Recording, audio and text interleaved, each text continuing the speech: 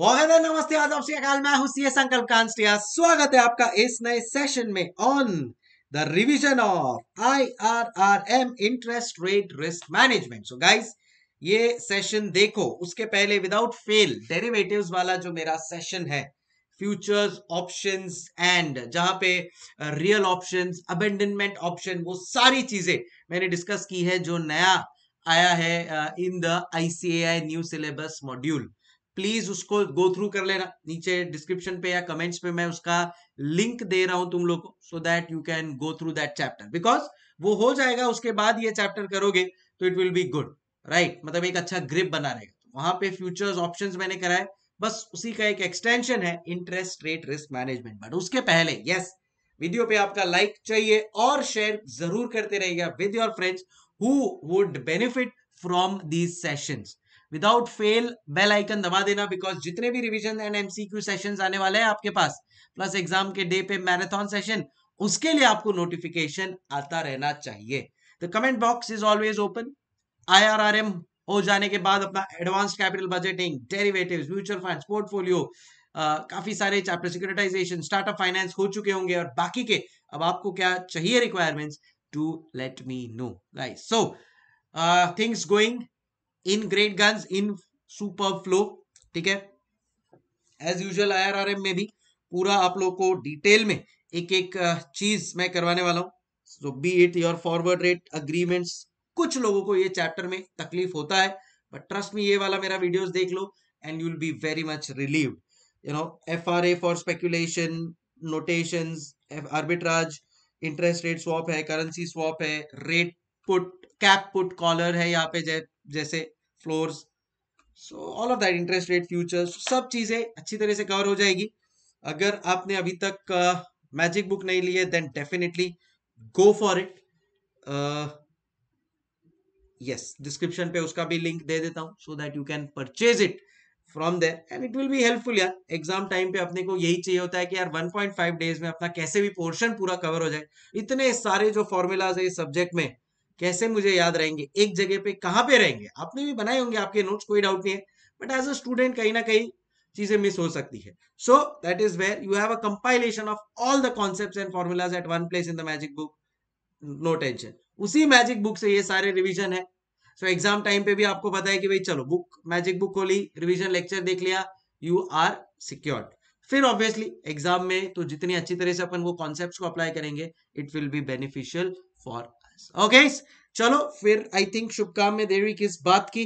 Let us get started with the revision of a very important topic interest rate risk management alright guys चलो let's start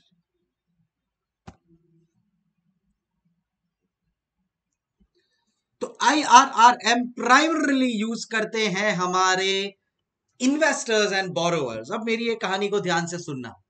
forex chapter में आप पढ़ोगे कि कैसे importer और exporter forward में transaction करते हैं इन ऑर्डर टू एंश्योर के करेंसी के फ्लक्चुएशन की वजह से उनको कोई प्रॉब्लम ना हो।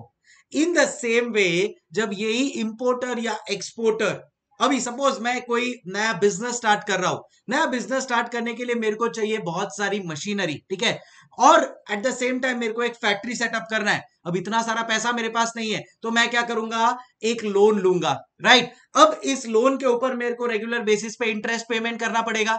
ये जो मैं इंटरेस्ट पे कर रहा हूँ, आगे जाके अगर इसमें बहुत ज़्यादा फ्लक्चुएशंस हुए then in that case I will have to pay a higher amount of interest at the same time suppose मेरा बहुत बड़ा बिज़नेस हो गया है एंड मेरे पास इन्वेस्टेबल सरप्लस है।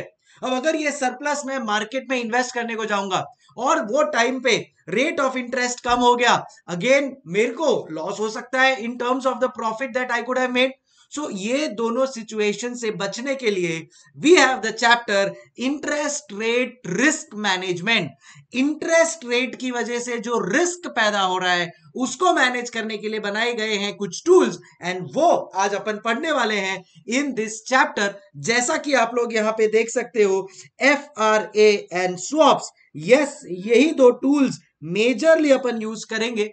टू एंश्योर दैट अपना जो इंटरेस्ट रेट रिस्क है, वो प्रॉपरली मैनेज हो जाए। तो भाई, हो सकता है कि मेरा एक प्रोजेक्ट मुझे मिलने वाला है, मेरे पास एक बहुत बड़ा इंपोर्ट ऑर्डर आने वाला है एंड आज से छह महीने बाद मेरे को उस इंपोर्टर को पेमेंट करना है। अब आज से छह महीने बाद अगर मुझे इंपोर्टर को पेमेंट करना है, आज रेट ऑफ़ इंटरेस्ट है फाइव परसेंट बट छह महीने बाद अगर rate of interest ten percent हो गया तो मेरे को तो फाइव परसेंट एक्स्ट्रा पे करना पड़ेगा। और इंपोर्ट ऑर्डर है तो बड़ा बड़ा होता है hundred crore two hundred crore का ऑर्डर होता है।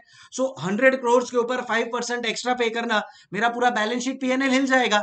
In order to save myself from such situation तो इंटरेस्ट रेट का कितना बड़ा रिस्क है, उसको मैं मैनेज कैसे करूँगा?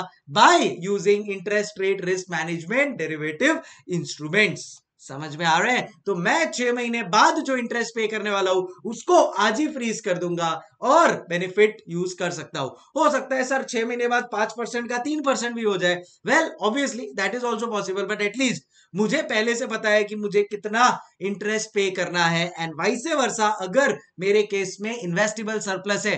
हो सकता है तीन महीने बाद मेरा जो मैंने जिसको एक्सपोर्ट किया है, वो मेरे को पेमेंट करने वाला अब मेरे पास इतना सारा सरप्लस आएगा, मैं इन्वेस्ट करने जाऊँगा। आज मार्केट में रेट चल रहा है एट परसेंट बट हो सकता है तीन महीने बाद छह परसेंट हो जाए। अपने आप को उस फॉल इन इंटरेस्ट रेट से बचाने के लिए again I will use the concept of interest rate risk management समझ में आ गया? तो इंटरेस्ट रेट की वजह से कैसे एक बोरोवर और एक इन्वेस्टर दोनों के लिए ये रिस्की हो सकता है? इस रिस्क को मैनेज करने के लिए we will be studying this chapter जिसका नाम है इंटरेस्ट रेट रिस्क मैनेजमेंट अब मैं इसको और थोड़ा डिटेल में बताता हूँ। सो सीयर अपन ने जब फॉरेक्स पढ़ा है तो फॉरेक्स के टाइम पे वी स्टडीड करेंसीज के करेंसी के रेट के फ्लक्चुएशन में। आज एक डॉलर एटी फाइव रुपीज़ है। कल एक डॉलर नाइन्टी भी हो सकता है एटी भी हो सकता है। ग्रेट ब्रिटेन पाउंड 105 है 100 भी हो सकता है 90 भी हो सकता है 120 भी हो सकता है। तो वो जो करेंसी का फ्लक्चुएशन है, उसको मैनेज करने के लिए हमने पढ़ा chapter foreign exchange exposure management, जहाँ पे एक कॉन्सेप्ट था जिसका नाम था फॉरवर्ड, जिसका नाम था फॉरवर्ड। तो जैसे वहाँ पे अपने पास फॉरवर्ड था और वो फॉरवर्ड को यूज़ करके वो फॉरवर्ड को यूज़ करके हम क्या करते थे? Freezing of forex rates right so हम ये फॉरवर्ड्स को यूज़ करके क्या करते थे? करेंसीज क्या? जो फॉरेक्स रेट्स है, उसको फ्रीज कर देते for a date in future अब उसका फ़ायदा इंपोर्टर को भी होता था एक्सपोर्टर को भी होता था। इन द सेम वे यहाँ पे क्या होने वाला है? जो मेरा इंटरेस्ट है गाइस जो मेरा इंटरेस्ट है, उस इंटरेस्ट रेट को मैं, उस इंटरेस्ट रेट को मैं फ्यूचर डेट के लिए क्या करने वाला हूँ? करेक्ट फ्रीज करने वाला हूँ। अब it can be I can be a borrower at at the same time I can be an investor now when I am a borrower ध्यान से सुनना मैं चाहता हूँ कि बॉस, मैं जो रेट पे फ्रीज कर दू, उसके बाद अगर इंटरेस्ट रेट बढ़े तो भी मेरे को टेंशन नहीं होना चाहिए। मैंने जो रेट पे फ्रीज कर दिया है I should get I should get that interest rate for sure तो ऐसे सिचुएशन में याद करो ऑप्शंस मैंने डेरिवेटिव्स फ्यूचर्स ऑप्शंस का वीडियो ऑलरेडी रिवीजन वीडियो डाल दिया है। प्लीज़ उसको वॉच कर लेना। ट्रस्ट मी फ्यूचर्स ऑप्शंस के कॉन्सेप्ट पूरे खुल जाएँगे आपके। मस्त एकदम, बोलते ना लॉजिकली स्ट्रांग हो जाओगे। तो वहाँ पे whenever I am expecting the market to go up मैं क्या करता था? मैं करता था लॉन्ग मतलब मैं कॉल ऑप्शन लेता था। बराबर है? राइट टू बाय को मैं फ्रीज करता था। यहाँ पे भी बोरोवर को चाहिए कि मार्केट का इंटरेस्ट रेट बढ़े। अगर मार्केट का इंटरेस्ट रेट बढ़े तो वो क्या कर लेगा? पहले से ही लॉन्ग ऑप्शन ले लेगा। एंड अगर उसने लॉन्ग ऑप्शन ले लिया तो कहना से उसके पास right to buy that interest rate है। एंड अगर इंटरेस्ट रेट ऊपर गया तो फिर उसके लिए तो फ्रीज अमाउंट जो पहले से है, उस पे उसको वो बोरोइंग का लोन मिल जाएगा। एंड एग्जैक्टली वैसे वर्षा होगा if it is an investor जो इन्वेस्टर है, उसको चाहिए कि बॉस अगर मार्केट उसको क्या डर है कि मार्केट अगर नीचे चले गया तो? तो अगर उसको डर है कि मार्केट का जो इंटरेस्ट रेट है वो नीचे चले गया देन इन दैट केस उसको लॉस हो जाएगा तो वो क्या कर देगा?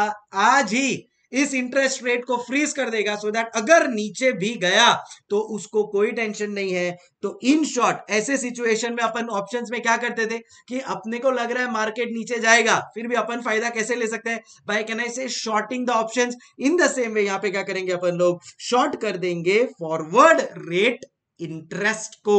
उसको कहते हैं forward rate arrangement in case of I R R M समझ में आ गया आपको एवरीबॉडी सो यहाँ पे जो बोरोअर है expect the market rate interest rate to go up आज ही वो उसको लॉन्ग कर देगा राइट टू बाय फ्रीज कर देगा।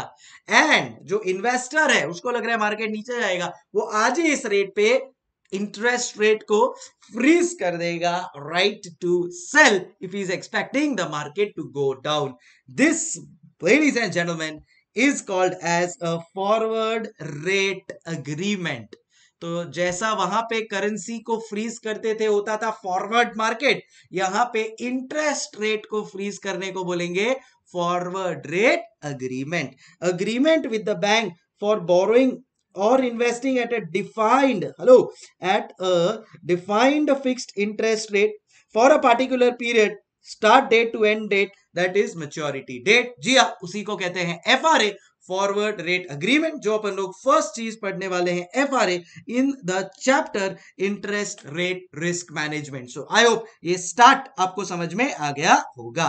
लेट्स मूव ऑन चलो अब एफ़ आर ए का है ना प्रोसेस समझ लेते हैं अपन ठीक है? एफ़ आर ए में ना दो मेजर पार्टीज़ होती है. जैसे कि अपने डेरिवेटिव्स में होती थी कॉल ऑप्शन पुट ऑप्शन में। एक होता है स्पेक्यूलेटर और दूसरा होता है हेजर हेजर के बाजू में देखो मैंने क्या लिखा है? जेन्युइन बिज़नेस रिक्वायरमेंट और स्पेक्यूलेटर के बारे में देखो अर्न प्रॉफिट्स फ्रॉम एफआरए ठीक है? एक चीज़ तो अपने को समझ में आ गई कि we will freeze the interest rates दो ऑप्शन होंगे अपने पास। Either we will long F R A जहाँ पे अपन एक्सपेक्ट कर रहे हैं कि इंटरेस्ट रेट ऊपर जाएगा अगर गया तो भी, अपने पास तो। यहाँ पे फ्रीज्ड है। Difference will be our gain and the other is short F R A short F R A में we are expecting the interest rate to go down नीचे गया तो भी वी कैन सेल और you can say invest at this interest rate जो difference है, वो हो गया अपना गेन एंड वाइसे वर्षा हुआ तो अपना लॉस हो जाएगा। ठीक है? अब जो हेजर है, वो जेन्युइन बिज़नेस रिक्वायरमेंट के लिए करता है। जैसे कि अगर से फॉर एग्जांपल मैं हूँ अंबानी या अडोनी ठीक है? और मेरा बहुत बड़ा इंपोर्ट कंसाइनमेंट आने वाला है आज से छह महीने के बाद। और छह महीने के बाद मेरे को उसको पे करना है, एक बहुत बड़ा अमाउंट जिसके लिए मुझे बोरो करना पड़ेगा। आफ्टर सिक्स मंथ्स मुझे बोरो करना पड़ेगा। तो अगर मेरे को तभी बोरो करना है तो मैं आज ही इंटरेस्ट रेट को फ्रीज कर दूँगा। वैसे वर्षा मुझे कोई एक्सपोर्ट का पेमेंट आने वाला है और छह महीने बाद में कोई इन्वेस्ट करना है, आज ही मैं इंटरेस्ट रेट फ्रीज कर दूँगा। But it is a genuine business requirement तो मैंने वो जो फ्रीज किया है, उस फ्रीज अमाउंट पे मैं एक्चुअली बोरो करूँगा और इंपोर्टर को पेमेंट करके उतना इंटरेस्ट पे करूँगा रियल में, ठीक है? फ़िज़िकल बोलते हैं ना फ़िज़िकल बोरोइंग होगा वो। एंड जो मेरे पास छह महीने बाद अगर एक्सपोर्ट का ऑर्डर आने वाला है तो मेरे पास जो पैसा आएगा, उसको मैं एक्चुअल में इन्वेस्ट करूँगा, जो अमाउंट मैंने फ्रीज किया है उसके ऊपर। That is what the hedger is going to do जिसका जेन्युइन बिज़नेस रिक्वायरमेंट है। बट सपोज़ अगर मैं और आप जैसे लोग हैं हु आर स्पेक्यूलेटर्स तो अब जो स्पेक्यूलेटर होता है ना, ध्यान में रखना कि उसने ये जो ट्रांजेक्शन किया है, वो खाली या तो गेन के लिए लॉस के लिए किया है। तो मैं एक नोशनल अमाउंट लेके उस अमाउंट को फ्रीज करवा दूँगा। तो से मैं जहाँ पे आईआरआरएम का ये रिस्क इंटरेस्ट को फ्रीज करने जा रहा हूँ, वहाँ पे मैं एक नोशनल अमाउंट के हिसाब से अमाउंट फ्रीज कर दूँगा। अभी समझो टेन परसेंट का अमाउंट फ्रीज हुआ है एंड मैंने लॉन्ग ऑप्शन लिया है। मार्केट हो गया ट्वेल्व परसेंट ठीक है? मैंने छह महीने का पीरियड का ड्यूरेशन का लिया था और छह महीने बाद ट्वेल्व परसेंट हो गया है। तो कहना इसे टू परसेंट मेरा गेन हो गया, क्योंकि मैंने लॉन्ग किया था no I have right to borrow at this rate of interest and twelve हो गया तो मेरे को नेट टू परसेंट मेरे अकाउंट में आ जाएगा। समझो दस लाख का मैंने नोशनल अमाउंट का वर्किंग किया था तो दस लाख के ऊपर two percent will be credited in my bank account and vice versa भी हो सकता है। समझो टेन के जगह पे सिक्स परसेंट हो गया। मैंने टेन पे फ्रीज किया और सिक्स परसेंट हो गया। तो फोर परसेंट जो है वो मेरा लॉस हो जाएगा उतना मेरे को पे करना पड़ेगा बैंक को। समझ में आ गया? स्पेक्यूलेटर और हेजर क्या करते हैं? सो so, as can be seen from above, FRA is done to freeze the interest rates for future borrowing or investing. It is done either with an intention of speculation या hedging. Parties to FRA. एक होता है buyer of FRA who is the borrower who wants to cover the risk of rise in interest on maturity. And दूसरा होता है seller, lender या investor you can say who wants to cover the risk of fall in the interest rate on maturity. Hedger का genuine business requirement है guys उसका genuine business requirement है. Since it is his genuine business requirement, on the date of maturity, he will take actual delivery at the freezed rate. जैसा मैंने आपको बताया था। अगर लॉन्ग एफआरए हुआ हेलो अगर लॉन्ग एफआरए हुआ तो बोरो करेंगे अपन फ्रीज्ड रेट एंड डेट पे। Right right? अगर एक्सपोर्ट वाला हुआ तो शॉर्ट एफ़ वाला जो हुआ तो अपन इन्वेस्ट करेंगे at the freeze rate end date so I think this is now very much clear अब आगे बढ़ते हैं। तो अब जो स्पेक्यूलेटर है, पहले उसके नज़र से सोच, समझते हैं कि क्या सिचुएशन होगा in case of a speculator जैसे आप और मैं, अपना कोई इंपोर्ट एक्सपोर्ट का कोई बहुत बड़ा बिज़नेस तो है नहीं बट फिर भी मुझे लग रहा है कि इंटरेस्ट रेट गिरने वाला है। या इंटरेस्ट रेट बढ़ने वाला है तो मैं long F R short F कर सकता हूँ। उस सिचुएशन में क्या होगा? एक स्पेक्यूलेशन की हालत।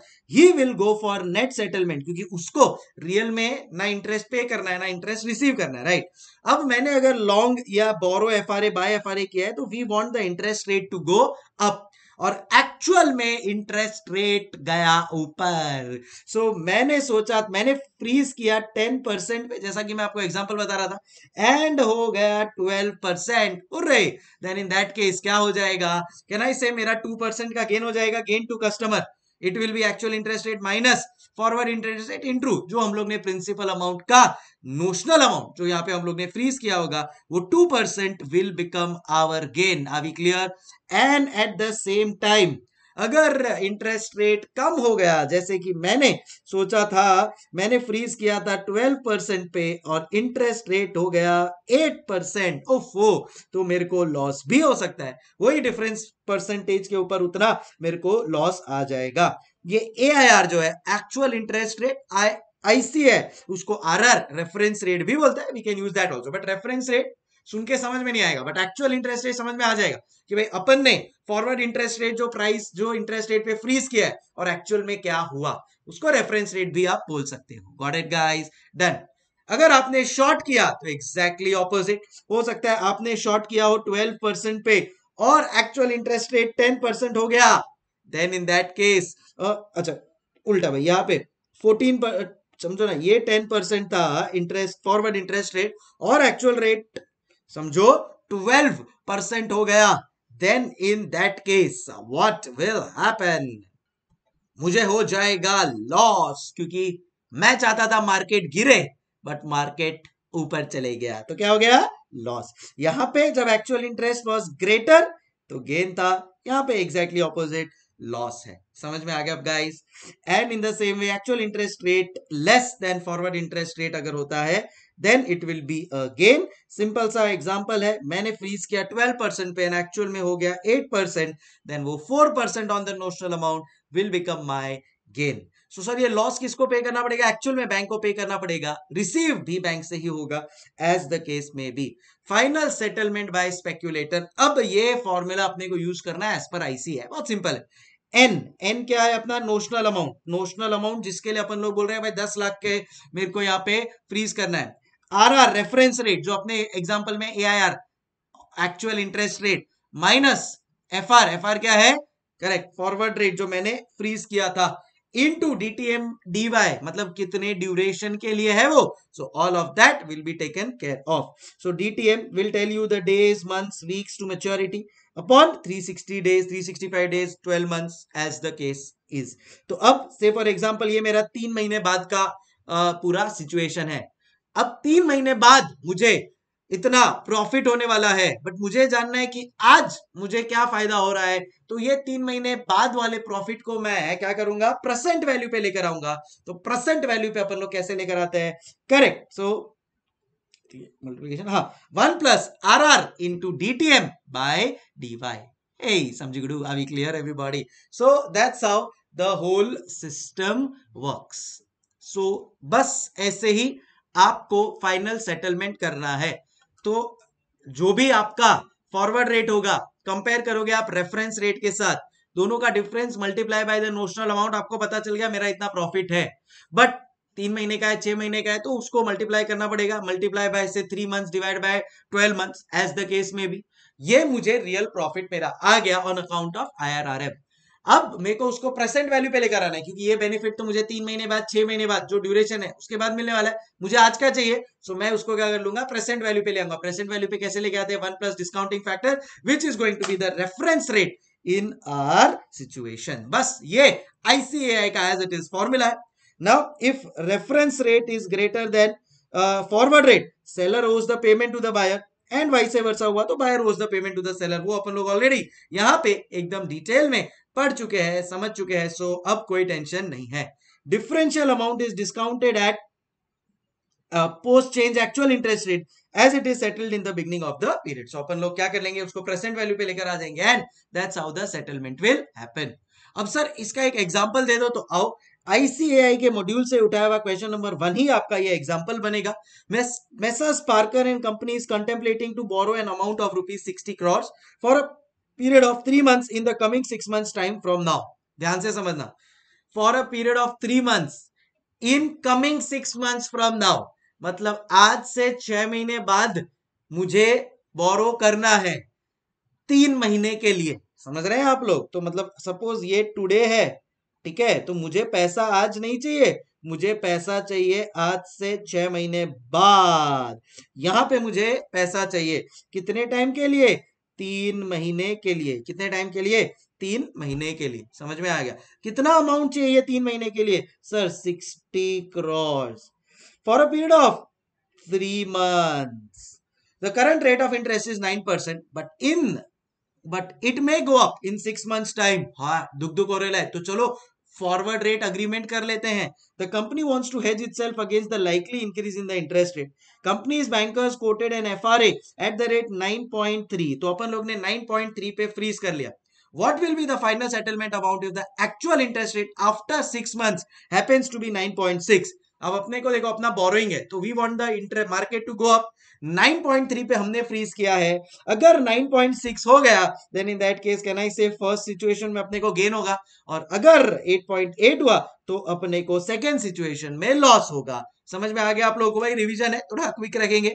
अब देखो, जैसा कि आप लोग यहाँ पे देख सकते हो कि अपना कंपनी कौन है? पार्कर एंड कंपनी तो फ़र्स्ट सिचुएशन में हेलो फ़र्स्ट सिचुएशन में अपने को गेन होने वाला है। गेन होने वाला है मतलब बैंक अपने को पेमेंट करेगा और सेकेंड सिचुएशन में पार्कर एंड कंपनी को बैंक को पेमेंट करना पड़ेगा। लॉजिक्स देखो। First situation, banker will pay Parker and company and second situation, Parker and company will pay banker. मतलब कहना इसे ये सिचुएशन में गेन हो गया, ये सिचुएशन में लॉस हो गया। बस अब इस फॉर्मूला में अप्लाई करना है, रेफरेंस रेट, नोशनल अमाउंट और फॉरवर्ड रेट। सो मेरा प्रिंसिपल अमाउंट जो है that is sixty crores in कितना हो गया मेरा रेफरेंस रेट 9.6 परसेंट मैंने फ्रीज कितने पे किया था? 9.3 परसेंट ये मेरा फ़ायदा।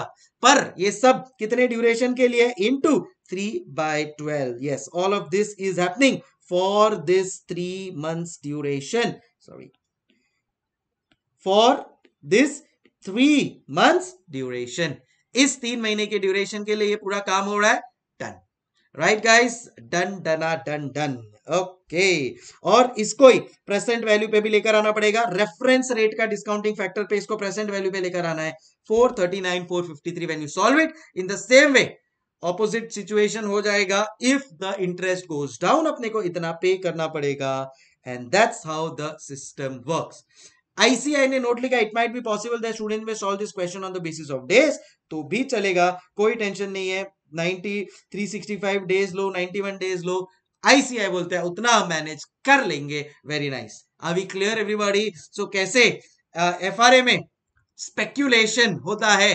कैसे हेजिंग से आपका पैसा बच भी सकता है लॉस भी हो सकता है। And that's where the first part of F R A is done चलते हैं अभी अपन लोग सेकेंड पार्ट पे which is F R A trade notation and dates तो देखो, ये एग्ज़ाम्पल ही कंटिन्यू अगर मैं करता हूँ, ये पार्कर वाला तो अगर तुम लोग ने नोट किया होगा ना सो सी टुडे हमने सोचा कि छह महीने बाद हम लोन लेंगे, वो भी तीन महीने के लिए। ये सबको एक proper F R A notation के टर्म्स में डिनोट करना पड़ेगा तो ही चीज़ें स्टैंडर्डाइज होगी and that is what now we are going to study तो सबसे पहले है date trade date today is my trade date date of entering into a forward rate agreement मैं आज सोच रहा हूँ, क्या छह महीने बाद लोन लूँगा?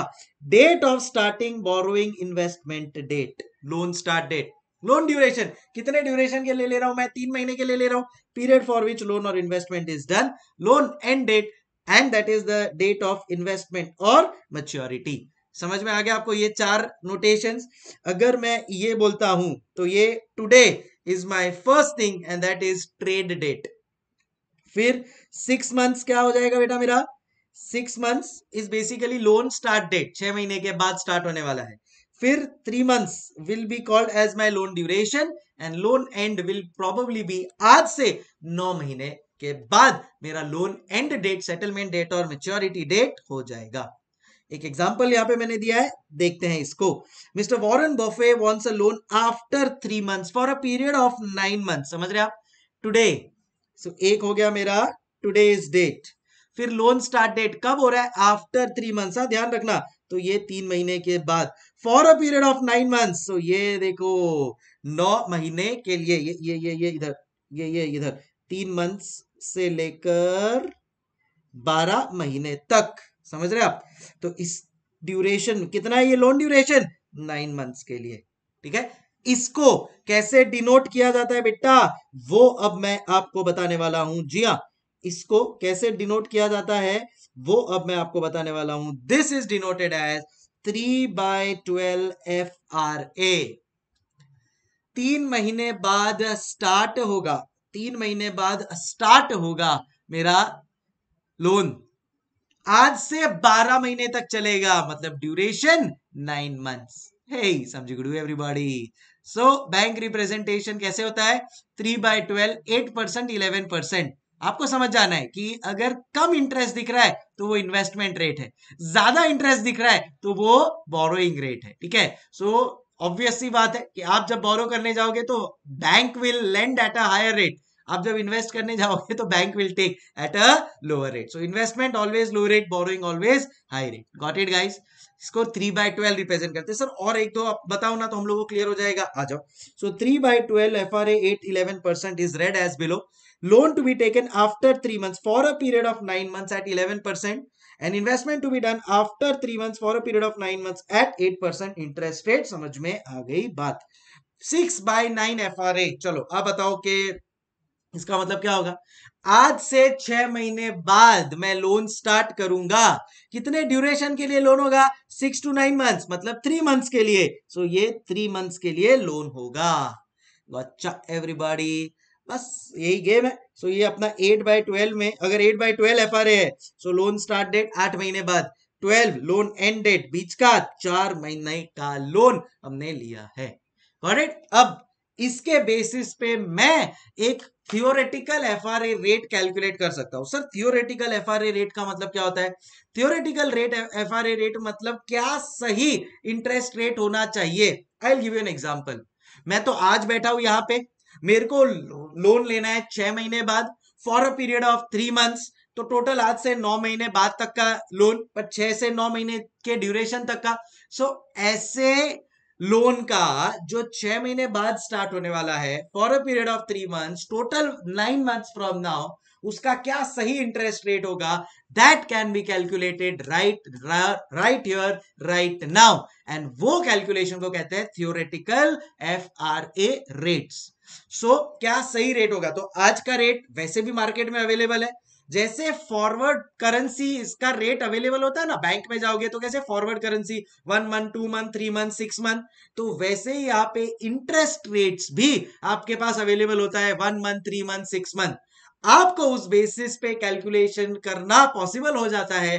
आपके जो टाइम लाइंस है, उसका forward interest rate and that basically is called as theoretical FRA rate. Samju. So, theoretical FRA rate means the ideal rate that should be quoted by the bank for a particular borrowing or investing based on the information of FRA rates for other months or years. So, say for example, right, example, दो minute ये रहा if interest rate after eighth month is to be calculated and आज मेरे पास interest rate available है for first five months and next three months is also available तो मैं interest rate for five months plus interest rate for three month से interest rate for eight months क्या होना चाहिए? ये कैलकुलेट खुद से कर सकता हूँ। That is called as theoretical F rate तो सर, ये तो कितना सिंपल है? Exactly exactly. पूरा भाई, पूरा का पूरा चैप्टर ही तो सिंपल है ना बेटा राइट सो इंफॉर्मेशन यहाँ पे देखो how to interpret bank code for F R A information seven by eleven F को कैसे इंटरप्रेट करोगे? आज से सात महीने बाद लोन चाहिए, चार महीने के लिए। टोटल इलेवन मंथ्स हो गया। Borrowing for four months after seven months now if interest rate of borrowing for four months and seven months are given then theoretical rate for eleven month borrowing will be calculated as so मुझे चाहिए eleven month का borrowing तो मैं क्या करूँगा? मेरे पास available है आज से चार महीने बाद का इंटरेस्ट रेट आज से उसके बाद सात महीने बाद का इंटरेस्ट रेट बस, उन दोनों को जब मैं कंबाइन करता हूँ मुझे मिल जाएगा interest rate for eleven months are we clear everybody अब यहाँ पे आ जाओ। कुछ एग्जांपल्स लेता हूँ मैं। कुछ नोटेशंस जो वो लोग यूज़ करने वाले हैं। Please now pay extreme attention so they will use the term F two one sir ये एफ़ टू वन क्या है? Right right? सो so, वैसा ही। सो so, देखो एफ़ वन ज़ीरो क्या होता है? एक एक चीज़ आप यहाँ पे एक्सप्लेन कर रहा हूँ। देखा। एफ़ वन ज़ीरो मतलब interest rate for one year at zero year इसके बाद नीचे आते हैं। Interest rate at for two years at zero year मतलब आज मैं इधर खड़ा हूँ ज़ीरो ईयर पे। एक साल बाद का इंटरेस्ट रेट क्या होगा? उसको डिनोट कैसे किया जाएगा? एफ़ वन ज़ीरो आज मैं इधर खड़ा हूँ। दो साल बाद का इंटरेस्ट रेट क्या होगा? एफ़ टू ज़ीरो समझ में आ रहा है? फिर आता है F one three interest rate for one year starting after three years total four years हुआ, समझे क्या? एफ़ वन ज़ीरो क्या हुआ? एक साल के बाद जो इंटरेस्ट रेट होने वाला है वो राइट right? बट आज से मुझे पता होना चाहिए। वैसे F one three interest rate for one year but कब स्टार्ट होने वाला है? Starting after three years so आज से तीन साल बाद एक साल का loan will become F one three got it everyone चलो तो फिर उसी हिसाब से एफ़ टू वन कमेंट में लिख के बताओ यार, क्या लगता है? करो पॉज वीडियो लिख के बताओ what will be F two one आज से दो साल बाद का interest for a period of one year total three हो गया टोटल थ्री हो गया right got it so interest rate for two years starting after one year उल्टा बोला मैं। Okay no problem so interest rate for two years starting after one year देख लो भाई, आपके कमेंट में और मैंने अभी जो आंसर दिया पॉज किया था कि नहीं वीडियो हुँ? चलो so that is now F two one interest for two years देखो इधर मैंने डायग्रामेटिकली बताया। Interest for two years starting sorry interest for two years starting after one year so ये मेरा ड्यूरेशन आ गया। एक साल के बाद स्टार्ट होने वाली चीज़ for two years in simple language एक साल के बाद दो साल के लिए बोरो करने का रेट ठीक है? सो जो फ़र्स्ट होता है ना टू दैट टेल्स के कितने ड्यूरेशन के लिए है। उसके बाद वाला, कब स्टार्ट होगा? कितने ड्यूरेशन के लिए, कब स्टार्ट होगा? तो नीचे देखो एफ़ थ्री टू कितने ड्यूरेशन के लिए है? तीन साल। कब स्टार्ट होगा? दो साल के बाद। कितने ड्यूरेशन के लिए है? तीन साल। Two to three three to four four to five कब स्टार्ट होगा बेटा? कब स्टार्ट होगा? दो साल के बाद। Hey subjugadu right. So f21 f32 कभी ऐसा आया तो आप लोग बता पाएँगे? यस सर आओ, कुछ एग्ज़ाम्पल करते हैं, ताकि आप लोग को चीज़ें एकदम क्लियर हो जाए, दिमाग में एकदम सेट हो जाए। तो ये अब कैलकुलेट करना मैं आपको सिखा रहा हूँ। Theoretical F R A using the terminologies as used by the practical world जो आपको सम में भी आ सकता है। तो वो आपको क्वेश्चन में देगा F three zero nine point two five percent वो आपको सब में देगा F two zero nine percent और आपको फिर बोलेगा कैलकुलेट एफ़ वन टू का theoretical F R A interest rate क्या आप कर सकते हो? Yes yes. अब सुनो, सबसे पहला इंफॉर्मेशन उसे क्या है? क्या है? एफ़ थ्री ज़ीरो यानी तीन साल का interest rate starting from today so can I say उसने अपने को ये वाला इन्फो दिया है? देखो, उसने अपने को कहना इससे ये वाला इन्फो दिया है राइट दूसरा एफ़ टू ज़ीरो दो साल का इंटरेस्ट स्टार्ट कब हो रहा है? ज़ीरो ईयर से मतलब आज कहना इसे, उसने अपने को ये वाला इंटरेस्ट रेट दिया है। पूछा क्या है? एफ़ वन टू एक साल के लिए इंटरेस्ट चाहिए बट स्टार्ट कब होने वाला है? दो साल के बाद।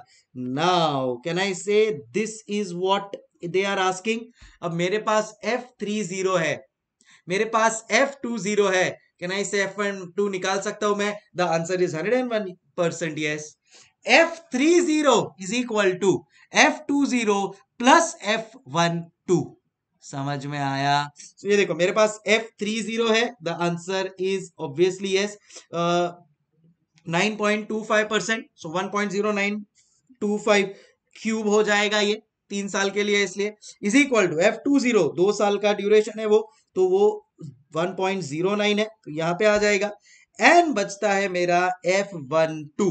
F one two ये है दो साल के बाद एक साल के लिए मेरे को इंटरेस्ट चाहिए तो क्या इंटरेस्ट होना चाहिए? तो this will become one plus F one two raise to one याद रखना ये टोटल मिला के थ्री ही होना चाहिए। तो ये अगर थ्री है ये raise to two raise to one मिला के थ्री होगा।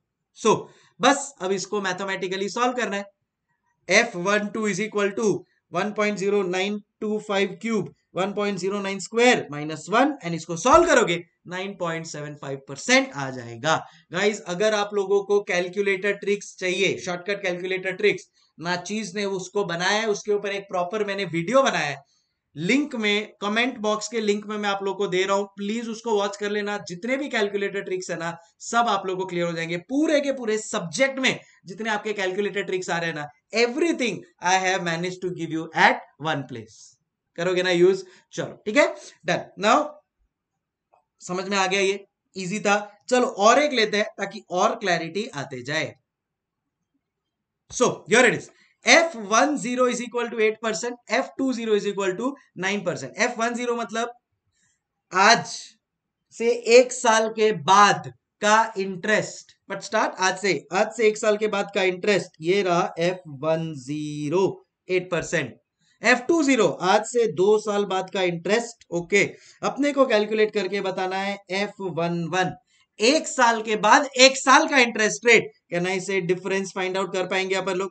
तो F two zero will be equal to F one zero into F one one बस, अब तो खाली अपने को नंबर सब्सटीट्यूट करना है। मैंने आपको बोला था टोटल कभी भी मैच होगा इसका। ये देखो, इधर टोटल है two obviously one point zero nine F two zero का है तो वो वन एंड वन बस अब इसको मैथमेटिकली सॉल्व कर लो। हो गया बात, क्या बोलते हो? डन और मैं बोल रहा हूँ कि ये खुद वीडियो पॉज कर लो चाहिए तो परवाह नहीं वीडियो पॉज करो। ये सम खुद से अभी करके बताओ, ये सम अभी खुद से करके बताओ तो तुम लोग को फील आ जाएगा that yes we are going on the right track अब यहाँ पे हाँ यहाँ पे जब v आया है ना तो दिस v रिप्रेजेंट्स ईयर्स जैसे जैसे जब अपन लोग यहाँ पे कर रहे थे ना तो इधर लिखा था सेवन बाई इलेवन एफ़ तो जब मल्टीप्लीकेशन होता है तो बेसिकली मंथ्स की बातें होती है। जब वी होता है तो बेसिकली ईयर्स की बातें चल रही है आपको समझ जाना है। सो so, यहाँ पे आ जाओ and we will see three V five तो थ्री वी फाइव का मतलब क्या हुआ? लॉजिक पूरा सेम रहेगा बस ईयर्स डालना है मंथ्स की जगह पे। सो so, आज नहीं तीन साल बाद दो साल का इंटरेस्ट रेट वैसा। That is how the interpretation works borrowing for two years after three years तीन साल बाद, दो साल का interest rate is called as three V five three X five क्या होता है? तीन तीन महीने बाद स्टार्ट होगा। For a duration of two months बराबर ना? ये जो three five minus three two months के लिए वैसा।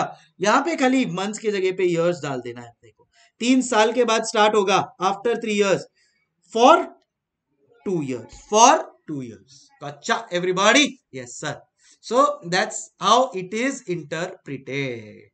बोलो बोलो चल चल यस सर समझ में आ रही है बातें अब कोई प्रॉब्लम नहीं है calculate theoretical rate for borrowing four by seven F R A अब यहाँ पे देखो interest rate for seven months दिया हुआ है interest rate for four months भी दिया हुआ है कैन आई से फोर बाय सेवन अपन लोग कैलकुलेट कर पाएँगे the answer is yes so seven का दिया हुआ है, फोर का दिया हुआ है मल्टीप्लाई बाय थ्री जो बच गया, वो हो जाएगा। देखो, अब सेवन का ट्वेल्व परसेंट दिया है सेवन मंथ्स के हिसाब से इंटू सेवन बाय ट्वेल्व कर लेंगे यहाँ पे। फिर बाद में यहाँ पे फोर मंथ्स का दिया हुआ है तो point nine into four by twelve कर लेंगे अपन लोग। करेक्ट आई थिंक ये पॉइंट ज़ीरो नाइन आएगा। करेक्ट सो ये इंटू फोर बाय ट्वेल्व कर लेंगे। बैलेंसिंग फिगर एक्स आपको खाली मैथमेटिकली कैलकुलेट करके बताना है। And that's how simple it is that's how simple it is so point zero nine into four करो. तो point zero three plus one तो ये हो गया वन पॉइंट ज़ीरो थ्री ये इसको सॉल्व करोगे आ जाएगा वन पॉइंट ज़ीरो सेवन बस आपको ये x का फिगर कैलकुलेट करके बताना है. That's it guys I think बस इसी हिसाब से कैलकुलेशंस हो जाता है. सो so, ये देखो. 1.07 1.03 सो इधर आ जाता है मेरा 1 plus zero point two five x equal to one point zero seven upon one point zero three. This will go here इसको जब पूरा सॉल्व कर लोगे तो आ जाएगा zero point zero three eight divide by point two five and you will get fifteen point five two percent. ये होना चाहिए fifteen point five two percent आपका से रेट ऑफ़ इंटरेस्ट होना चाहिए फॉर से four by seven F R A तो वो जो तीन महीने हैं उसके लिए ये रेट ऑफ़ इंटरेस्ट होना चाहिए right so that's how the whole system works be it in terms of years be it in terms of months I hope चीज़ें समझ में आ गई होगी। जो भी आपको इंटरेस्ट रेट दिया हो, से यहाँ पे 11 मंथ्स का दिया है फोर मंथ्स का दिया है, आप सेवन मंथ्स का कैलकुलेट कर सकते हो। फोर मंथ्स का दिया है सेवन मंथ्स का दिया है, आप इलेवन मंथ्स का कैलकुलेट कर सकते हो। दैट्स इट सिंपल ईयर्स में। अगर से फॉर एग्जांपल आपको यहाँ पे इस क्वेश्चन में देखो एफ़ थ्री ज़ीरो दिया है एफ़ टू ज़ीरो दिया है, आप एफ़ वन टू कैलकुलेट कर सकते हो। ये ये देखो, ये टाइमलाइन बनाना बहुत ज़रूरी है। बहुत मतलब बहुत ज़रूरी है। मैं अगर ये पूरा समझो, हटा देता हूँ डिलीट ही कर देता हूँ। कोई मुझे बोले एफ़ थ्री ज़ीरो तो मैं इमीजिएटली टाइम लाइन पे प्लॉट कर दूँगा। ये बहुत ये ज़ीरो है वन है टू है थ्री है। सही है? थ्री है। तो अब मुझे यहाँ पे पता है कि किसकी बात कर रहा है वो? ये पूरे की बात कर रहा है वो एफ़ थ्री ज़ीरो। आज से तीन साल बाद का इंटरेस्ट रेट क्या होना चाहिए? Nine point two five percent फिर एफ़ टू ज़ीरो, मुझे पता है कि वो इसकी बात कर रहा है। अगर मेरे पास लॉजिकली सोचो ना, मेरे पास ये है, मेरे पास ये है but ऑब्यो as a balancing figure I will be able to calculate that and यहाँ पे वही तो किया है। फिर हम लोग ने क्या किया? दिस जो गिवन इन्फो है मल्टीप्लाई बाय दिस जो मेरे लिए एक बैलेंसिंग फिगर है इज़ इक्वल टू दिस जो गिवन इन्फो है एक्स जो मेरा बैलेंसिंग फिगर था, वो मेरे को बहुत इजीली मिल जाएगा। गॉट इट बस that is how you calculate the theoretical forward interest rates अगर डेटा ईयर्स में है तो ऐसा कुछ।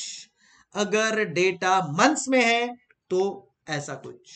बस दैट्स इट फिर अब आप कोई भी एग्ज़ाम्पल ले लो you will be able to crack it ये देखो, यहाँ पे और एक एग्जांपल लिया आप लोगों के लिए फोर बाई सेवन वाला you are able to do it right so now अपना थियोरेटिकल इंटरेस्ट रेट कैलकुलेट करना आ गया। तो अब अपन गए बैंक में, अपन ने देखा interest rate for seven months दिया है, अपन ने देखा interest rate for four months दिया है। मेरे दिमाग में चल रहा है, मेरे को फोर बाय सेवन एफ़ निकालना है। तो तीन महीने का मतलब फोर टू सेवन तीन महीने का वो मेरे को एक एफ़ रेट निकालना है। मैंने निकाला fifteen point five two percent so ideally four by seven का इंटरेस्ट रेट होना चाहिए fifteen point five two percent but क्या ये ज़रूरी है? क्या उतना ही होगा? The answer is yes but अगर वो नहीं है then it gives rise to something called as arbitrage with FRA. जी हाँ it gives rise to something called as arbitrage with FRA. So, theoretical, जैसे theoretical future price derivative future का मेरा lecture देखा है। सो थियोरेटिकल फ्यूचर प्राइस और actual future price याद है वो कॉस्ट टू कैरी मॉडल से अपन लोग थियोरेटिकल फ्यूचर प्राइस निकालते हैं। और एक्चुअल फ्यूचर प्राइस सेम नहीं है तो क्या होता है? आर्बिट्राज विद फ्यूचर्स वैसे ही जो थियोरेटिकल इंटरेस्ट रेट अभी मैंने आपको बताया, उस तरीके से आपने निकाला but actual interest rate equal नहीं है। बिंगो अपने पास स्कोप है आर्बिट्राज विद इंटरेस्ट रेट करने का, और कैसे करेंगे? अब वो मैं स्टेप आप लोगों को बताने वाला हूँ। बट याद रखना when it is equal when theoretical interest rate is equal to actual interest rate arbitrage का स्कोप ही नहीं है। But if it is not equal arbitrage possible and कैसे करना है arbitrage is now I am going to teach all क्या आप लोगों को थियोरेटिकल इंटरेस्ट रेट निकालना आ गया? मंथ्स में हो ईयर्स में हो मल्टीप्लाई करो। आ जाएगा। नोटेशन अब आपको समझ में आ गए। Four by seven F R A right F one zero F two zero F three zero F two one all of that is clear नहीं समझ में वापस से एक बार सुन लो ये मेरा पूरा पार्ट दो बार सुन लो, तीन बार सुन लो, यार, क्या टेंशन लेने की बात है? And you will be clear फिर आप थियोरेटिकल इंटरेस्ट रेट कैलकुलेट करना सीख गए। एक्चुअल इंटरेस्ट रेट से कंपेयर करेंगे। जब आपने कंपेयर किया और अगर वो सेम नहीं आया तो आर्बिट्राज कैसे करना है? वो अब आपको आपका भाई सिखाएगा। सो so, मैं भी आर्बिट्राज करना चाहता हूँ सर कैसे करूँ? आओ बताता हूँ। देखो यहाँ पे क्वेश्चन एग्जांपल मैंने लिया है। आ, ये एग्जांपल बी मिल जाएगा आपको मॉड्यूल में कहीं पे। सो सिक्स मंथ का इंटरेस्ट रेट दिया है आपको फाइव परसेंट ट्वेल्व मंथ का इंटरेस्ट रेट दिया है सिक्स पॉइंट फाइव परसेंट अपने को लोन चाहिए सिक्स बाय ट्वेल्व छ महीने के बाद छ महीने के लिए। डन सिटी बैंक का कोट आया अपने पास six by twelve F R A six point five six point seven five percent ठीक है? अपने को पता होना चाहिए बात कि 6.5 परसेंट जो लोअर है, वो इन्वेस्टमेंट के लिए 6.75 परसेंट जो हायर है, वो बोरोइंग के लिए। तो ये अपना पूरा सिस्टम क्लियर है। अब मैं मैं हूँ चार्टर्ड मैं हूँ एक प्रोफेशनल तो उन्होंने यहाँ पे जो रेट्स दिया है, क्या उसको मैं आँख बंद करके मान लूँगा क्या? द आंसर इज़ नेवर मैं अपना कैलकुलेशन करूँगा पहले ठीक है? तो अब मैं अपना कैलकुलेशन स्टार्ट करता हूँ। मेरे पास 12 मंथ्स का है मेरे पास सिक्स मंथ्स का है। कहना इसे डिफरेंशियल सिक्स मंथ्स का मेरे को मिल जाएगा? सो so, मैं one plus twelve month interest rate जो दिया हुआ है उसको यूज़ कर लूँगा। सिक्स मंथ्स का इंटरेस्ट रेट जो दिया हुआ है उसको यूज़ कर लूँगा। एंड जो मेरा डिफरेंस है वो मेरा बैलेंसिंग फिगर आ जाएगा। एंड जो मेरा डिफरेंस है वो मेरा बैलेंसिंग फिगर करके आ जाएगा। समझ में आ रही है आपको बातें? यस सर सो 1.065 डन 1.05 दिया हुआ है, पर वो छह महीने का है तो into one point five percent जो है वो एक साल का है। मेरे को छह महीने का चाहिए तो इंटू सिक्स बाई ट्वेल्व करूँगा तो one point zero two five गया। मेरे को बैलेंसिंग फिगर एक्स मिल जाएगा, जैसे अपन लोग ने लास्ट टाइम किया था and that basically works out to seven point eight percent so, as can be seen from about TIR is 7.8 percent. मतलब आइडियली वो six by twelve F R होना चाहिए था seven point eight percent but अगर आप लोग note करोगे then in that case it is borrowing rate six point seven five percent A I R actual interest rate is 6.75%. So can I say if TIR is not equal, TIR is not equal to AIR, it gives rise to arbitrage opportunities? The answer is yes. Right? It, the answer is yes. तो sir कैसे इसमें arbitrage करेंगे अपन लोग आओ बताता हूँ। सो so, ये वाला केस है जहाँ पे T I R is greater than A I R अब देखो ए आई आर का इंटरेस्ट रेट कम है राइट तो मैं क्या करूँगा पता है क्या? आज का आज ही ए आई आर का जो इंटरेस्ट रेट है उस पे से फॉर एग्ज़ाम्पल बोरोइंग कर लेता हूँ। ये देखो इधर आ जाओ। ये ये सबसे पहले क्या आप लोगों को ये पूरा क्लियर हो गया? मैंने कैसे थियोरेटिकल इंटरेस्ट रेट निकाला? तो मेरा नॉलेज का मैंने फ़ायदा उठा के थियोरेटिकल इंटरेस्ट रेट निकाला जिससे मुझे कॉन्फिडेंस आ गया that yes my theoretical interest rate should be 7.8 percent but but but but market में सेम चीज़ का मेरे को लोन मिल रहा है 6.75 परसेंट पे यस आर्बिट्राज का फुल स्कोप है लेट्स डू इट अब लॉजिक लॉजिक से इसको सॉल्व करना है लॉजिक देखो, सुनो। क्या ना इससे आज की तारीख में अगर मैं इसको इन एक्चुअल इंटरेस्ट रेट है क्या ना इससे वो मेरा कम है? तो मैं क्या करूँगा, बताया क्या आज बोरो कर लूँगा। यही एक्चुअल इंटरेस्ट रेट के ऊपर मैं बोरो कर लूँगा फॉर सिक्स मंथ छह महीने का इंटरेस्ट रेट कितना है? फाइव परसेंट है, मैं गया बैंक में। आज के हिसाब से छह महीने का फाइव परसेंट के हिसाब से बोरो कर लिया। फिफ्टीन फाइव परसेंट के हिसाब से मैंने बोरो कर लिया। अब जैसे ही मैंने ये छह महीने के हिसाब से फाइव परसेंट के रेट के हिसाब से बोरो किया तो मेरा इंटरेस्ट का मीटर चालू। बट कब तक मेरे को बोरो करना है? Till F R A loan start मेरा F R A six by twelve मतलब आज से छह महीने बाद मेरा एफ़ आर ए स्टार्ट होगा, तब तक के लिए मैंने ये बोरो किया है। ठीक है? अब बोरो करके पैसा का क्या करूँ? एक लाख मैंने बोरो किया है, छह महीने के लिए टिल एफ़ आर लोन का मैं क्या करूँ? इसको इन्वेस्ट कर देंगे अपन लोग टिल मेच्योरिटी मेच्योरिटी बारह महीने बाद होने वाला है मेच्योरिटी के लिए इन्वेस्ट कर दिया। क्या रेट चल रहा है भाई मेरा इन्वेस्टमेंट का? Sir six point five percent six point five percent के हिसाब से मैंने इन्वेस्ट कर दिया। अब ये जब एफआरए का लोन है, छह महीने के लिए लिया ये वाला जो लोन है, छह महीने के लिए लिया है, जब तक एफआरए का स्टार्ट नहीं होता है, फिर एफआरए का लोन मेरा स्टार्ट हो जाएगा। तो जब मेरा ये एफआरए का लोन स्टार्ट होगा तो मैं कितने का लोन लूँगा? उतना लोन लूँगा जिससे मेरा ये अमाउंट रीपे हो जाए। जिससे मेरा ये अमाउंट रीपे हो जाए। Borrow money at F R A date to repay क्या repay borrowed loan plus interest so मेरा एक लाख का लोन है छह महीने का पाँच परसेंट के इंटरेस्ट के हिसाब से हो जाएगा one lakh two thousand five hundred. समझ में आ गया? यस सर समझ में आ गया। तो one lakh two thousand five hundred is going to be my repayment amount और उतने का ही मैं एफ़ लोन लूँगा। छह महीने के लिए एफ़ लोन लिया at the rate six point five percent तो मेरे को छह महीने बाद कितना पे करने को आएगा? Uh, मेरे को छह महीने बाद कितना? One lakh two thousand five hundred. मैंने ये लोन लिया है। कितने के ऊपर? Six point seven five percent का भी मेरे को तो रेट मिल रहा है ना यहाँ पे। सिटी बैंक दे रहा है तो मैंने six point seven five percent के हिसाब से ले लिया। तो one lakh two thousand five hundred ये one lakh two thousand five hundred कैसे आया? स्टार्टिंग का जो loan till F R date लिया था, वो कितने मंथ्स का था? छह महीने का फॉर फाइव परसेंट तो one lakh two thousand five hundred आता है।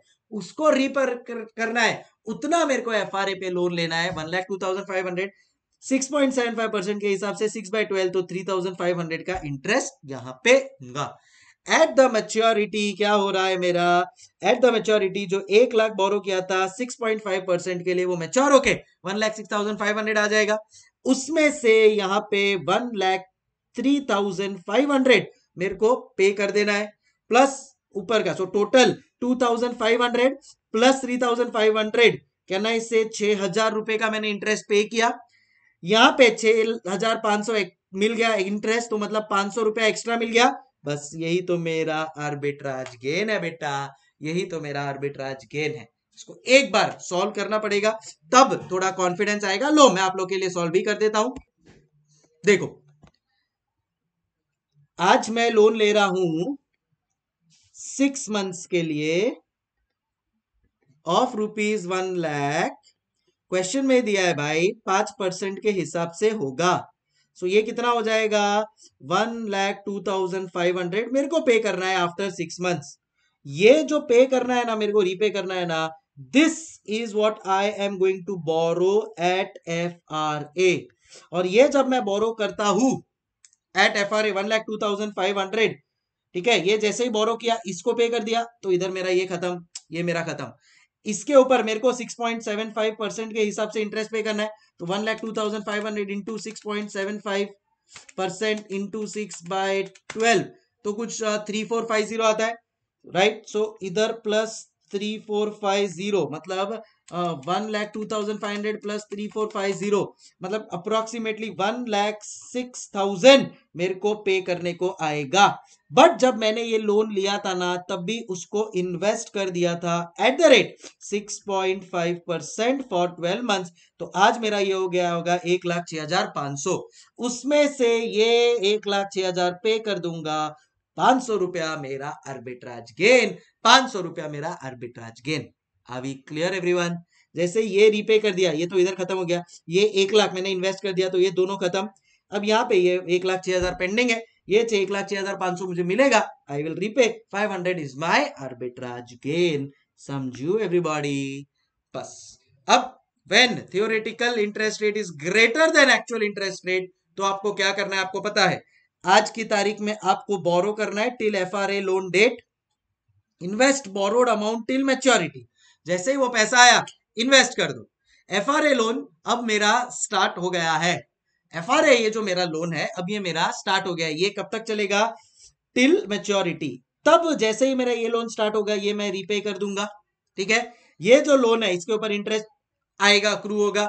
एंड में मेच्योरिटी पे ये loan plus interest till date invest का जो भी बोरोड अमाउंट है, वो पैसा आए इनफ्लो ये बोरो का रेट पे कर दो, जो डिफरेंस है आर्बिट्राज गेन मैं एग्जांपल के थ्रू समझा चुका हूँ। जब उल्टा हो when theoretical rate is less than actual interest rate तो अब एक्चुअल इंटरेस्ट रेट ज़्यादा है तो इन्वेस्ट करूँगा मैं। तो तो मैं क्या करूँगा? इन्वेस्ट मेरे पूरा एंगल ऑफ़ इन्वेस्टमेंट आ जाएगा। आओ दिखाता हूँ।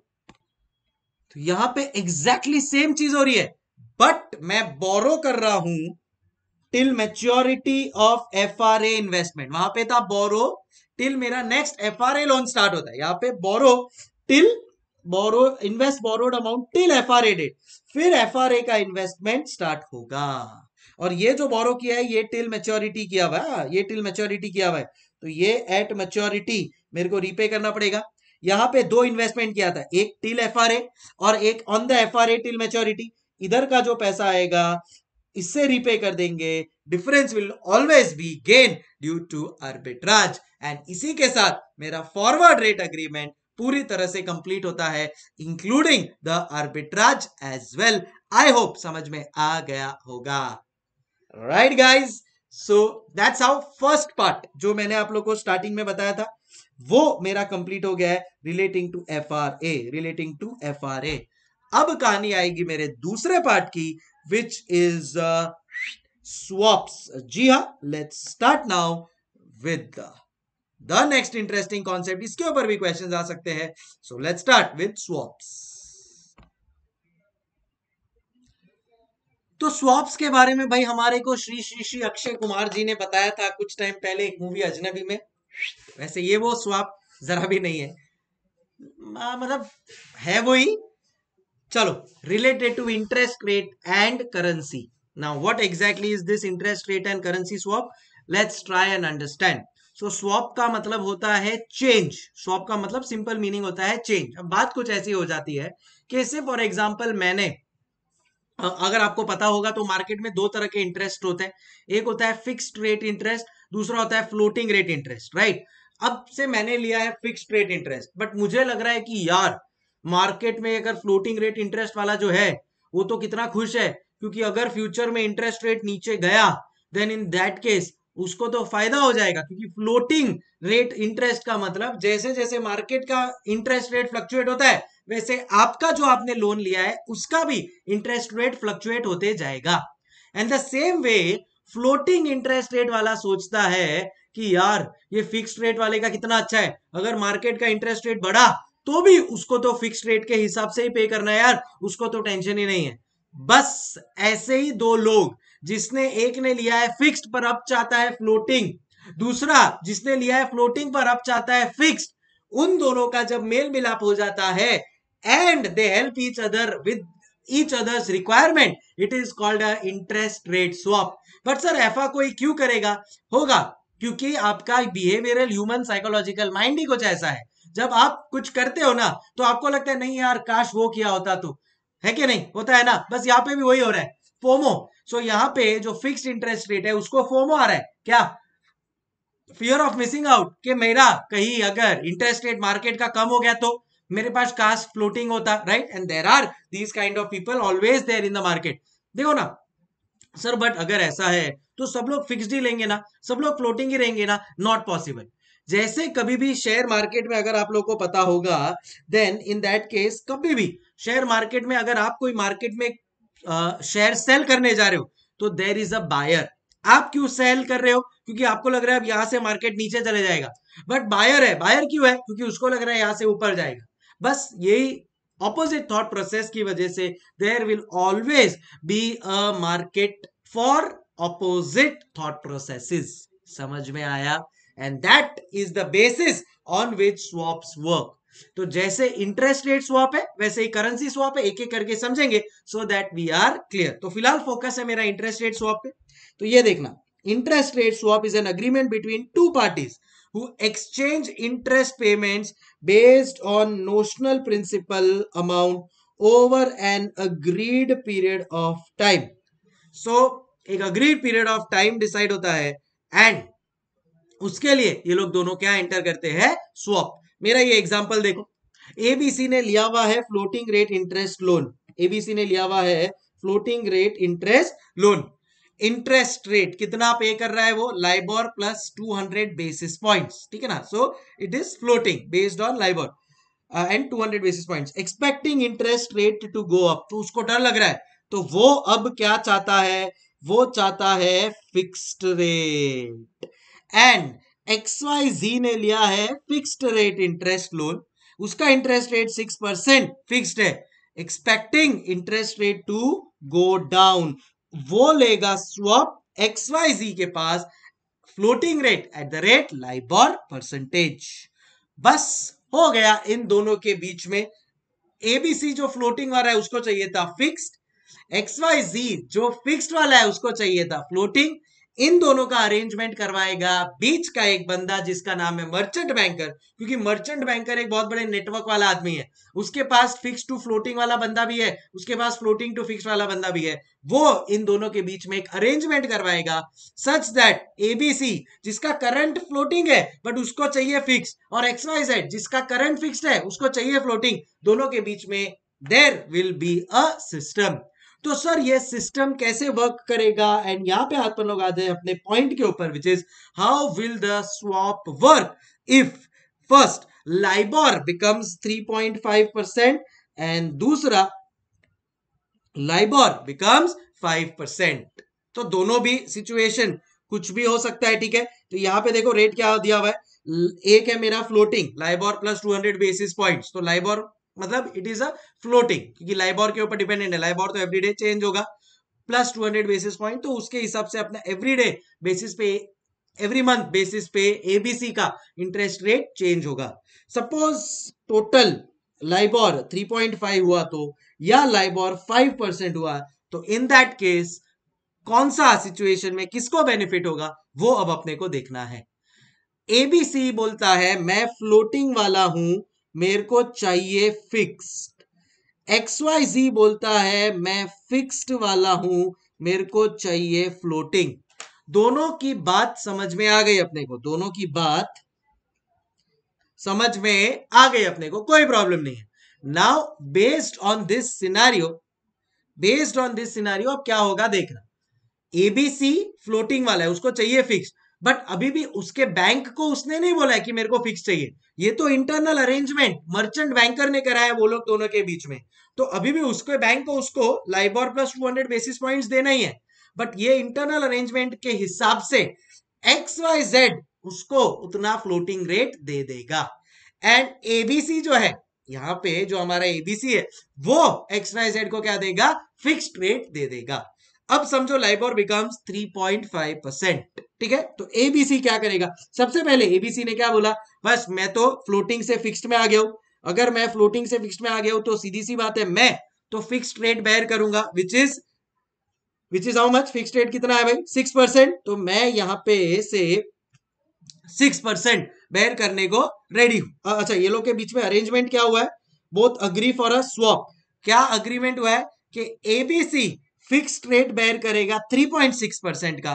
And X Y Z LIBOR bear करेगा लाइबोर परसेंटेज का। तो एबीसी क्या बोला है? मैं 3.6 परसेंट का फिक्स्ड बेयर करने को रेडी हूँ। वो 3.6 अपना जो इंटरेस्ट है, वो पे कर देगा। देखो, इसके लिए मैंने इधर लिखा है माइनस उसको एक्स वाई जेड के पास से क्या मिलने वाला है? उसको एक्स वाई जेड के पास से मिलने वाला है लाइबोर परसेंटेज एल मिलने वाला है उसको।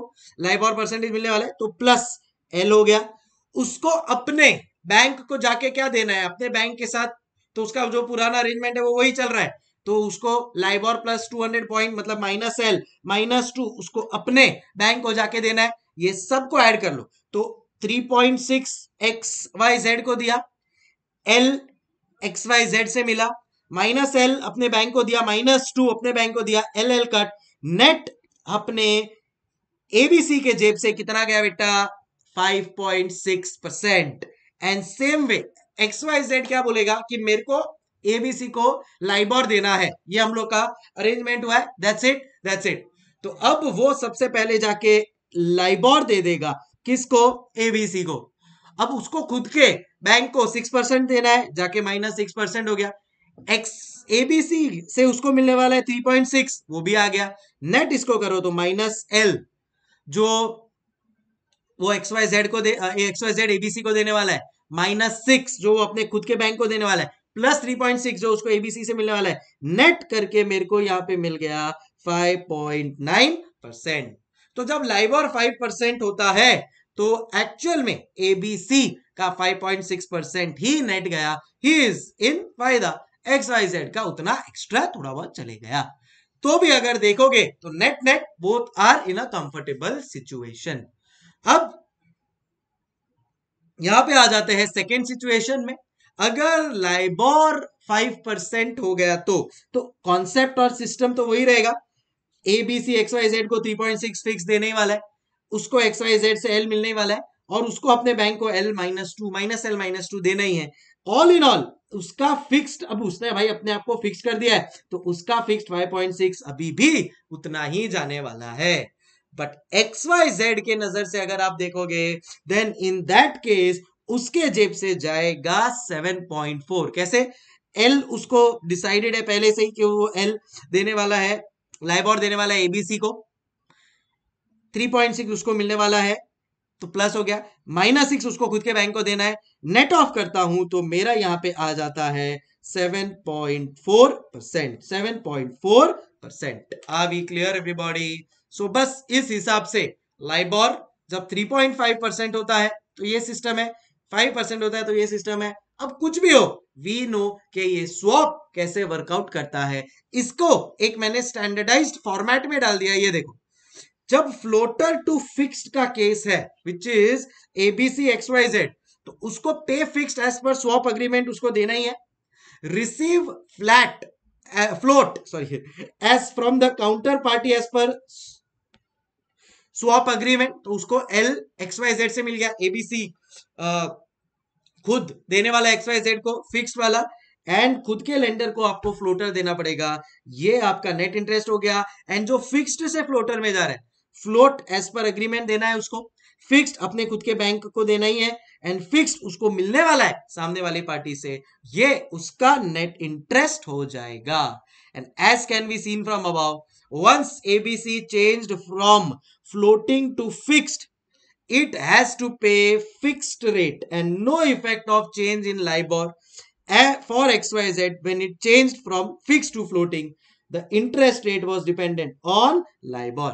तो ABC के लिए तो 5.6 5.6 ही रहा बाकी XYZ के लिए चेंज हो रहा है बिकॉज़ अब वो फिक्स से फ्लोटिंग में कन्वर्ट हो गया है बस आपको कुछ भी हो जाए, आपको कुछ भी हो जाए, ये फॉर्मेट को फॉलो करना है गाइस ये फॉर्मेट को फॉलो करना है and you will be able to manage everything you will be able to manage everything so जैसा कि मैंने बोला यहाँ पे, देखो एबीसी फिक्स में कन्वर्ट हो गया अब देखो फिक्स ही जा रहा है। और ये भाई साहब हमारे एक्सवाइजी फ्लोटिंग पे आ गया इसका यहाँ पे फ्लोटिंग का सिस्टम चल रहा है।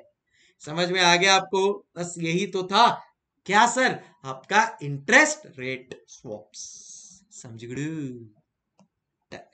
बस अब इसी के बाद आ रहे हैं अपन लोग। तो ये आप लोग भी एक बार लिख लेना, देख लेना। मैजिक बुक से एंड एकदम स्मूथली हो जाएगा। And with this now we are coming to our next concept and that is currency swaps अब करेंसी स्वॉप में क्या होता है? करेंसी का एक्सचेंज तो what happens is this suppose I am in India ठीक है? I am an Indian but मेरे को कोई फैक्ट्री सेटअप करना है अमेरिका में. ठीक है? तो मैं अमेरिका जाऊँगा और मैं अमेरिका में बोलूँगा कि यार मेरे को लोन चाहिए। अब अमेरिका वाला मुझे डॉलर में लोन देगा। And because I am outside of America तो मेरे से वो जो रेट ऑफ़ इंटरेस्ट चार्ज करेगा डॉलर में that will be a higher percentage in the same way America में एक बंदा है रॉबर्ट जो इंडिया में आया है और इंडिया में कुछ फैक्ट्री सेटअप करना चाहता है और उसको इंडिया में लोन चाहिए। बट बिकॉज़ वो अमेरिकन है इंडिया में उसको लोन चाहिए तो उसको जो रेट ऑफ़ इंटरेस्ट इंडिया में चार्ज होगा that will be higher rate of interest तो अब आप लोग समझ गए। तो रॉबर्ट और संकल्प क्या करेंगे? एक स्वप अरेंजमेंट कर लेंगे। जहाँ पे जहाँ पे Robert will take in loan in America on behalf of Sankalp, और वो संकल्प को दे देगा। जिससे संकल्प को कम रेट ऑफ़ इंटरेस्ट में मिल गया काम। जो रेट ऑफ़ इंटरेस्ट पे करना है रॉबर्ट को, वो संकल्प रॉबर्ट को दे देगा। एंड वाइस वर्षा रॉबर्ट के लिए संकल्प लोन ले लेगा। वहाँ पे इंडिया में जो इंटरेस्ट आ रहा है, वो रॉबर्ट संकल्प को पे कर देगा। Sankalp will in turn pay to his or her bank समझ में आ गया गाइस इसको बोलते हैं currency swap so it is a transaction in which guys two parties exchange equivalent amount of money with each other, but in different currencies. ठीक है? तो उसको 10 लाख डॉलर चाहिए। ठीक है? मेरे को से 190 लाख रुपी 85 लाख रुपीस चाहिए। Vice versa then in that case we will enter into a swap but sir कभी ऐसा नहीं हुआ तो? समझो आप लोग दोनों का अमाउंट अलग अलग हुआ, या फिर आप लोग का ड्यूरेशन अलग अलग हुआ तो देन इन दैट केस वो होता है एडवांस्ड लेवल स्वॉप जो अपने को नहीं करना है। जो अगर आप CFA करते हैं तो वो सब में आएगा। अपन जो कर रहे हैं, उसको बोलते हैं plain vanilla swap simple and easy to execute Currency swap is a transaction in which two parties equivalent, exchange equivalent amount of money with each other, but in different currencies. The parties are essentially loaning each other money and will repay will repay the amounts at a specified date and exchange rate. Ah. The purpose could be to hedge exposure of rate risk to speculate on the direction of a currency or to reduce the cost of borrowing in a foreign currency जो मैंने example दिया उसमें ये intention था reduce the cost of borrowing in a foreign currency. The working of currency swap is similar to interest rate swap The exchange is of two different currencies. Interest rates are calculated as agreed. Now, currency swap has two inbuilt components. Currency fluctuation and interest rate benefit चलो example के through इस चीज़ को समझ लेते हैं मैंने जानबूझ के एग्ज़ाम्पल लिया है आप ही के आईसीएआई के मॉड्यूल का ताकि मॉड्यूल का एक क्वेश्चन भी इस बहाने हो जाए आइए I N C intend to borrow dollar 2 lakh and dollar 2 lakh in yen respectively for a time horizon of one year the prevalent interest rate are as follows मतलब आई एन सी को genuinely dollar two lakh चाहिए N C को dollar two lakh but in yen जितना होता है ना, उतना चाहिए। इन येन जितना होता है ना, उतना चाहिए। और प्रिवेलेंट एक्सचेंज रेट कितना है? One dollar equal to yen one twenty मतलब क्या हो जाएगा? Dollar two lakh into yen one twenty equal to so two lakh into one twenty ये हो जाएगा yen two forty lakhs lakhs. Yen, 240 lakhs. हाँ भाई समझ में आ गई बात sir they entered into a swap under which it is agreed that B I N C will pay A I N C at the rate one percent over the yen loan interest rate which latter will have to pay as a result of the agreed currency swap नहीं समझे sir नहीं समझे। बता दो बता दो। ये ये लोग का अरेंजमेंट है। ये ये लोग का अरेंजमेंट है। क्या? देखो they entered into a currency swap जहाँ पे क्या अग्री होता है? BINC I pay AINC 1% over the yen loan interest अब मेरे को एक बात बताओ कि येन का लोन कौन लेगा? ए लेगा कि बे ले, बी लेगा? सीधी सी बात है ए लेगा। बराबर है? अच्छा डॉलर का लोन कौन लेगा? आइडियली देखो तो डॉलर का लोन भी ए ही लेगा। बट बिकॉज़ स्वॉप अरेंजमेंट करना है तो बी बोलता है मैं डॉलर का ले लेता हूँ। बराबर अब होगा क्या? ए येन का लोन ले रहा है बी के लिए तो बी उसको फाइव परसेंट दे देगा। बी डॉलर का लोन ले रहा है ए के लिए तो आइडियली बी क्या बोलेगा? ए को कि सुनना, मेरा टेन परसेंट हो रहा है, तू मेरे को उतना दे दे। बट ऑब्वियसली बात है A will not give A will say मेरे को तो फाइव नाइन परसेंट में मिल रहा है। मैं क्यों तेरे को टेन दू? तो इसके लिए यहाँ पे वो लोग क्या बोल रहे हैं? B will pay A I N C at the rate one percent over the yen loan interest rate which the latter will have to pay as a result of agreed currency swap. जबकि whereas, A will reimburse to B only to the extent of 9%. A तो बोलेगा, मेरे को तो 9% में मिल रहा था, मैं स्वैप ना करूँ तो भी। करेक्ट ठीक है तो वो 9% देगा। और बी ए को एक्स्ट्रा वन परसेंट देगा। Keeping the exchange rate variant quantify the opportunity gain और loss of the ultimate outcome resulting from the designed currency swap क्या आप लोग को ये स्वैप समझ में आ गया? तो ए को चाहिए दो लाख डॉलर बी को चाहिए चौबीस लाख येन दो लाख डॉलर एट येन ठीक है? सो वो क्या करेगा? ए बी के लिए फाइव परसेंट पे येन का लोन ले लेगा। तो yen two forty lakhs at the rate five percent A I N C takes a loan for B of two forty lakhs yen for five percent but ध्यान रखना, उसके लिए बी उसको फाइव प्लस वन परसेंट देगा। A will receive five percent plus additional one percent from B हो गया sir ये arrangement समझ गया। आप दूसरा अरेंजमेंट समझाओ। आओ, दूसरा अरेंजमेंट समझते हैं। दूसरा अरेंजमेंट में है B I N C dollar two lakh at the rate ten percent ले रहा है करके राइट सो बी ए के लिए ले रहा है टेन परसेंट बट ए ने तो क्लियरली बोल दिया I will give only nine percent so B will receive nine percent from A as per swap agreement पर बी को देना पड़ेगा ten percent B and C takes a loan for A of dollar two lakhs at the rate ten percent अब इनका जो arrangement जो अभी आप लोग के साथ मैंने डिस्कशन किया, उसका एग्जीक्यूशन एग्जीक्यूशन क्या है कि ए ने बी के लिए फाइव परसेंट पे लोन लिया है टू फोर्टी लाख येन का फाइव परसेंट के हिसाब से उसको वो पे कर देगा।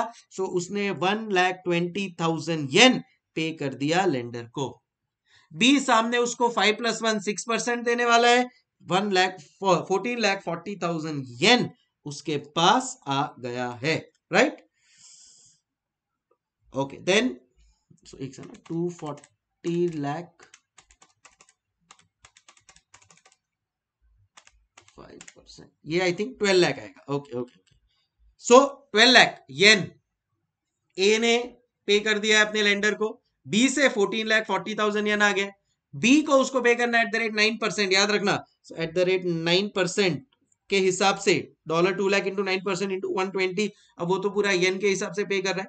So twenty one lakh sixty thousand net cost होता है ए का। समझ में आ गई बात? Everybody yes sir exchange rate one dollar equal to yen one twenty B का क्या अरेंजमेंट है? देखो जरा। बी का क्या अरेंजमेंट है? B will pay to lender but at the rate ten percent pay कर दिया।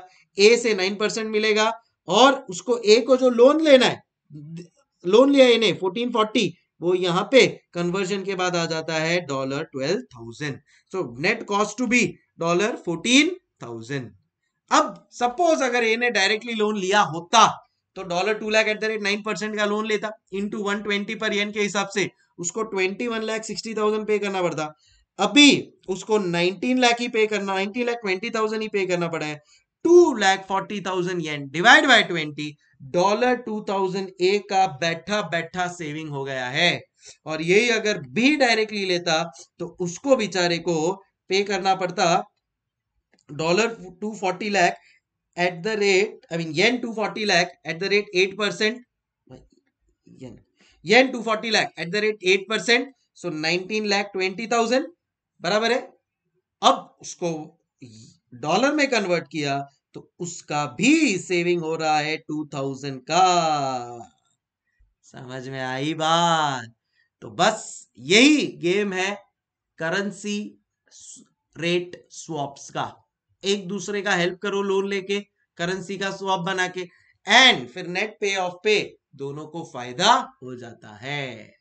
समझ में आ गई बात? यस सर सो इंटरेस्ट का फॉरवर्ड रेट अग्रीमेंट हो गया इंटरेस्ट का स्वॉप्स हो गया अब बारी है इंटरेस्ट के ऑप्शंस की। तो जैसा डेरिवेटिव्स में अपन लोग ने ऑप्शंस देखा था call option put option exactly यहाँ पे भी वैसे ही ऑप्शन है। और मैंने एक नंबर का तुम लोग के लिए कुछ एग्जाम्पल्स लिए जिससे तो क्या ही तुम लोग के दिमाग में सब चीज़ें सेट हो जाएगी।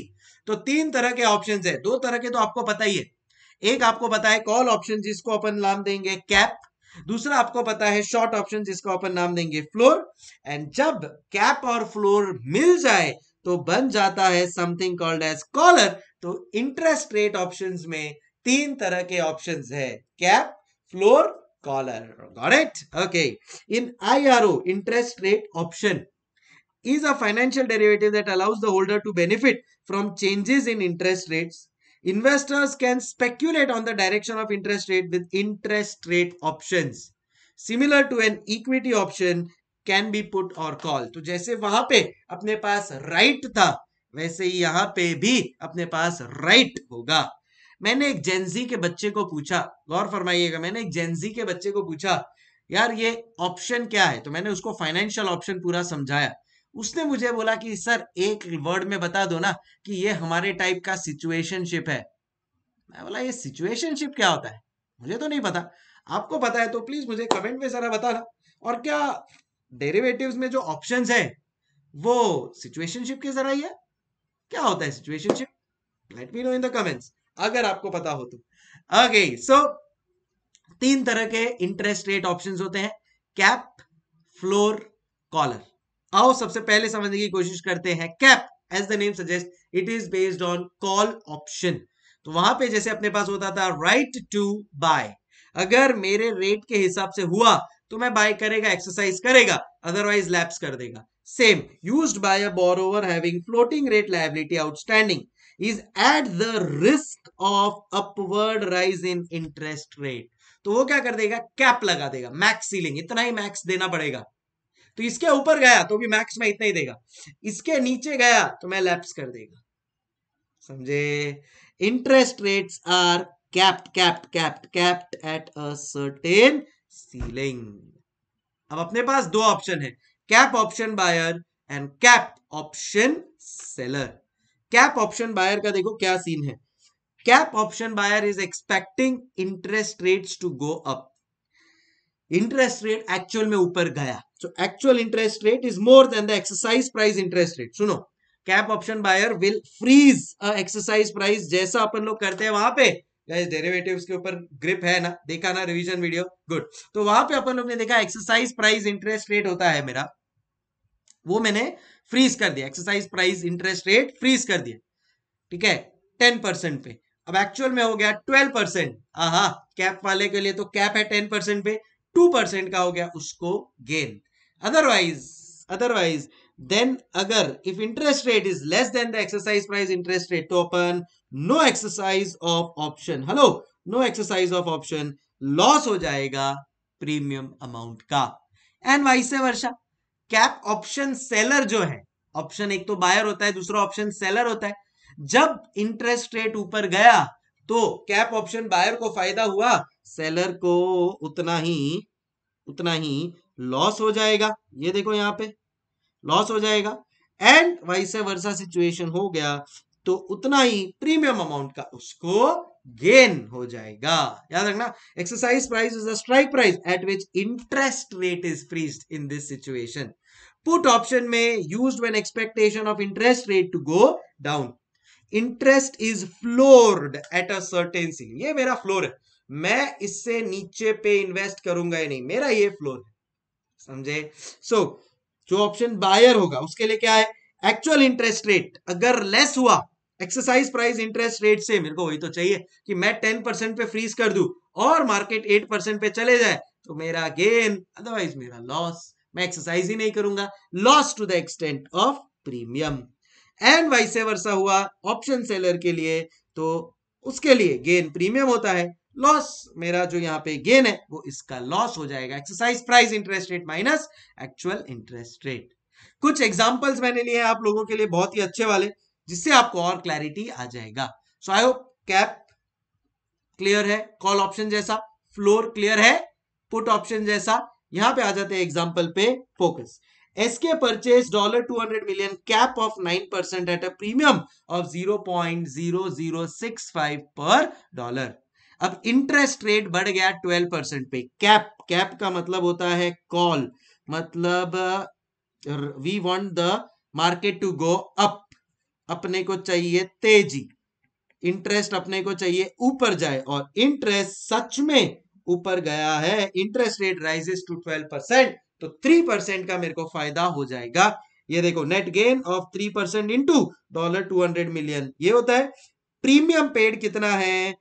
Two hundred into point double zero six five and that is yes 1.3 million so ये 1.3 million into 13 lakh dollar 60 lakh का फ़ायदा नेट गेन हो गया है 47 लाख का। जो ऑप्शन सेलर है, उसका उतना ही नेट लॉस हो जाएगा।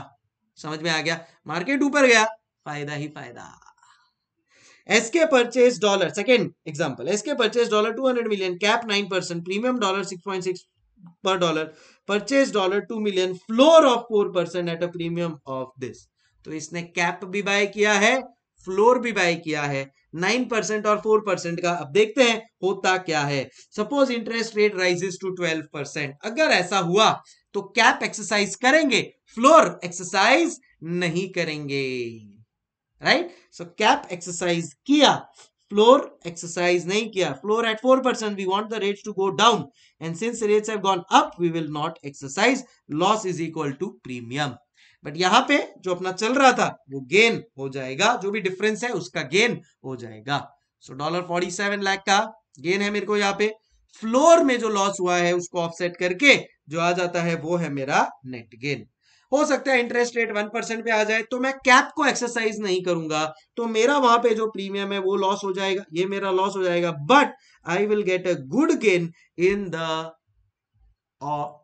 ना put market which is the floor market जहाँ पे मुझे gain minus premium paid net gain 4620 का होगा एंड यहाँ पे ओवरऑल गेन मिल जाएगा। समझ में आया आपको? So that is how cap and floor can be taken together and the system works फिर बाद में आ जाते हैं इंटरेस्ट रेट कॉलर ऑप्शन पे, जो है कॉम्बिनेशन जो है बहुत ही अच्छा कॉम्बिनेशन क्या कॉम्बिनेशन एक्सपेक्टेशन है अगर आपका कि इंटरेस्ट रेट बढ़ने ही वाला है। से फॉर एग्जांपल जो इस बार का गवर्नर है इंडिया का जो आरबीआई का गवर्नर है, वो आपके चिचा है। अगर वो आपके चिचा है तो आपको पता ही चल जाएगा पहले कि इंटरेस्ट रेट का क्या होने वाला है। तो आपको कंफर्म है कि इंटरेस्ट रेट इंक्रीज ही होने वाला है। तो आप क्या कर सकते हो? आप दोनों तरफ़ से फ़ायदा लोगे। बाय कैप ऑप्शन देखो कैप ऑप्शन वाला जो बाय कर रहा है, उसको क्या चाहिए? इंटरेस्ट रेट बढ़े। राइट टू बाय उसका फ्रीज है इंटरेस्ट बढ़ेगा तो उतना उसका डिफरेंस प्रॉफिट और seller of floor option floor option वाले बायर को चाहिए इंटरेस्ट रेट गिरे। बराबर है? बट फ्लोर ऑप्शन के सेलर को चाहिए इंटरेस्ट रेट बढ़े, ताकि वो एक्सरसाइज ही ना कर पाए और प्रीमियम उसका पूरा गेन हो जाए। So buy cap option and sell floor option only if you are very confident that yes Market interest rate is going to definitely increase and अगर दूसरा साइड हुआ expectation of decrease in interest rate हुआ तो cell cap option hello तो sell cap option and buy floor option कर लेंगे now Caller option is used only when the client is very sure of market movement.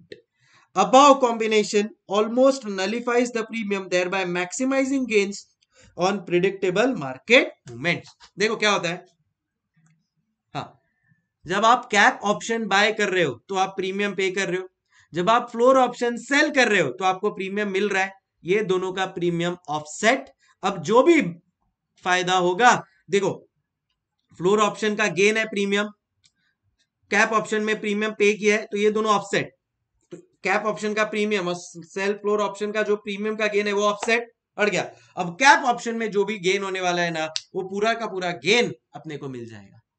क्योंकि premium तो offset हो गया cell floor option के साथ। That is the benefit of the collar option premium आपका एकदम कम हो जाता है मैक्सिमाइजिंग गेन्स बट अगर उल्टा हुआ, आपने जैफा सोचा, अगर वैफा नहीं हुआ तो उतना ही बड़ा आपको लॉस भी होगा। इसीलिए यहाँ पे क्लियरली बोला है क्लियरली बोला है बाबूजी क्लीन बोला है। क्या? That expectation is use only when client is very sure of market movement client is very sure of market movement समझू अब आ जाओ हमारे प्यारे से एग्ज़ाम्पल के ऊपर। प्यारा सा एग्ज़ाम्पल है buy cap at the rate nine percent dollar two hundred million sell floor at the rate four percent dollar two hundred million interest rate rises अपने को यही चाहिए कि राइज हो जाए। तो कैप में भी फ़ायदा सेल राइट फ्लोर में भी फ़ायदा। कैप में फ़ायदा जो अपन ऑलरेडी कैलकुलेट कर चुके हैं, फ्लोर में फ़ायदा होगा, जो उसका लॉस है, वो इधर प्रीमियम लॉस है, वो इधर मेरा गेन हो जाएगा।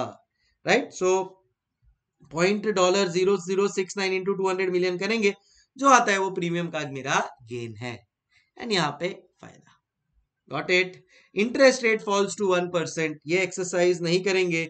और फ्लोर वाले को तो बहुत बड़ा लॉस होगा, जितना उसका yes, जितना उसका गेन है उतना पूरा का पूरा इसको four minus one percent as a loss bear करना पड़ेगा। Got it guys? So that is about the interest rate options collar cap floor right? And अब अगर आप लोग नोट कर रहे हैं तो इसमें एक बहुत क्रूशियल प्लेयर है and that crucial player is premium boss ये प्रीमियम की वजह से मेरा प्रॉफिट बढ़ सकता है मेरा लॉस कम हो सकता है सो ये premium calculation is of utmost importance and अब मेरा नेक्स्ट कॉन्सेप्ट है calculation of premium payable on option इसको सॉल्व करने के दो तरीके हैं बेसिकली एक है सिंपल फॉर्मूला यूज़ करके फॉर्मूला है दोनों में। डेरिवेशन में अभी ऑब्वियसली रिविजन सेशन है तो अपन बहुत ज़्यादा डेरिवेशन में नहीं जाऊँगा मैं। बट फिर भी बता दू आपको formula RP is the premium जो आपका प्रीमियम का परसेंटेज है। RP is the rate of premium ये देखिए यहाँ पे। ए इज़ द अमाउंट जिस अमाउंट के लिए अपन लोग पूरा ये ऑप्शन एग्जीक्यूट कर रहे हैं। पीवीआईएफ कितने ड्यूरेशन के लिए है ये? So time and rate of interest जो मार्केट में चल रहा है। सो so, अपने पास दो फॉर्मूला एक तो ये वाला फॉर्मूला जो मैंने आपको बताया अभी R P into A upon PVF I percent for T number of years but दूसरा वाला फॉर्मूला है, वो भी आप यूज़ कर सकते हैं। मैंने दोनों तरह से यूज़ करके किया हुआ है and you will get the same answer फ़िलहाल इजी वाला अपन लोग यूज़ करेंगे। लेट स्टार्ट एग्ज़ाम में आपको दोनों का इंफॉर्मेशन तो दिया ही होगा। So let's use the easier one to get it done fast X Y Z borrows pound 15 million तो कहना से ए अमाउंट 15 मिलियन आ गया है।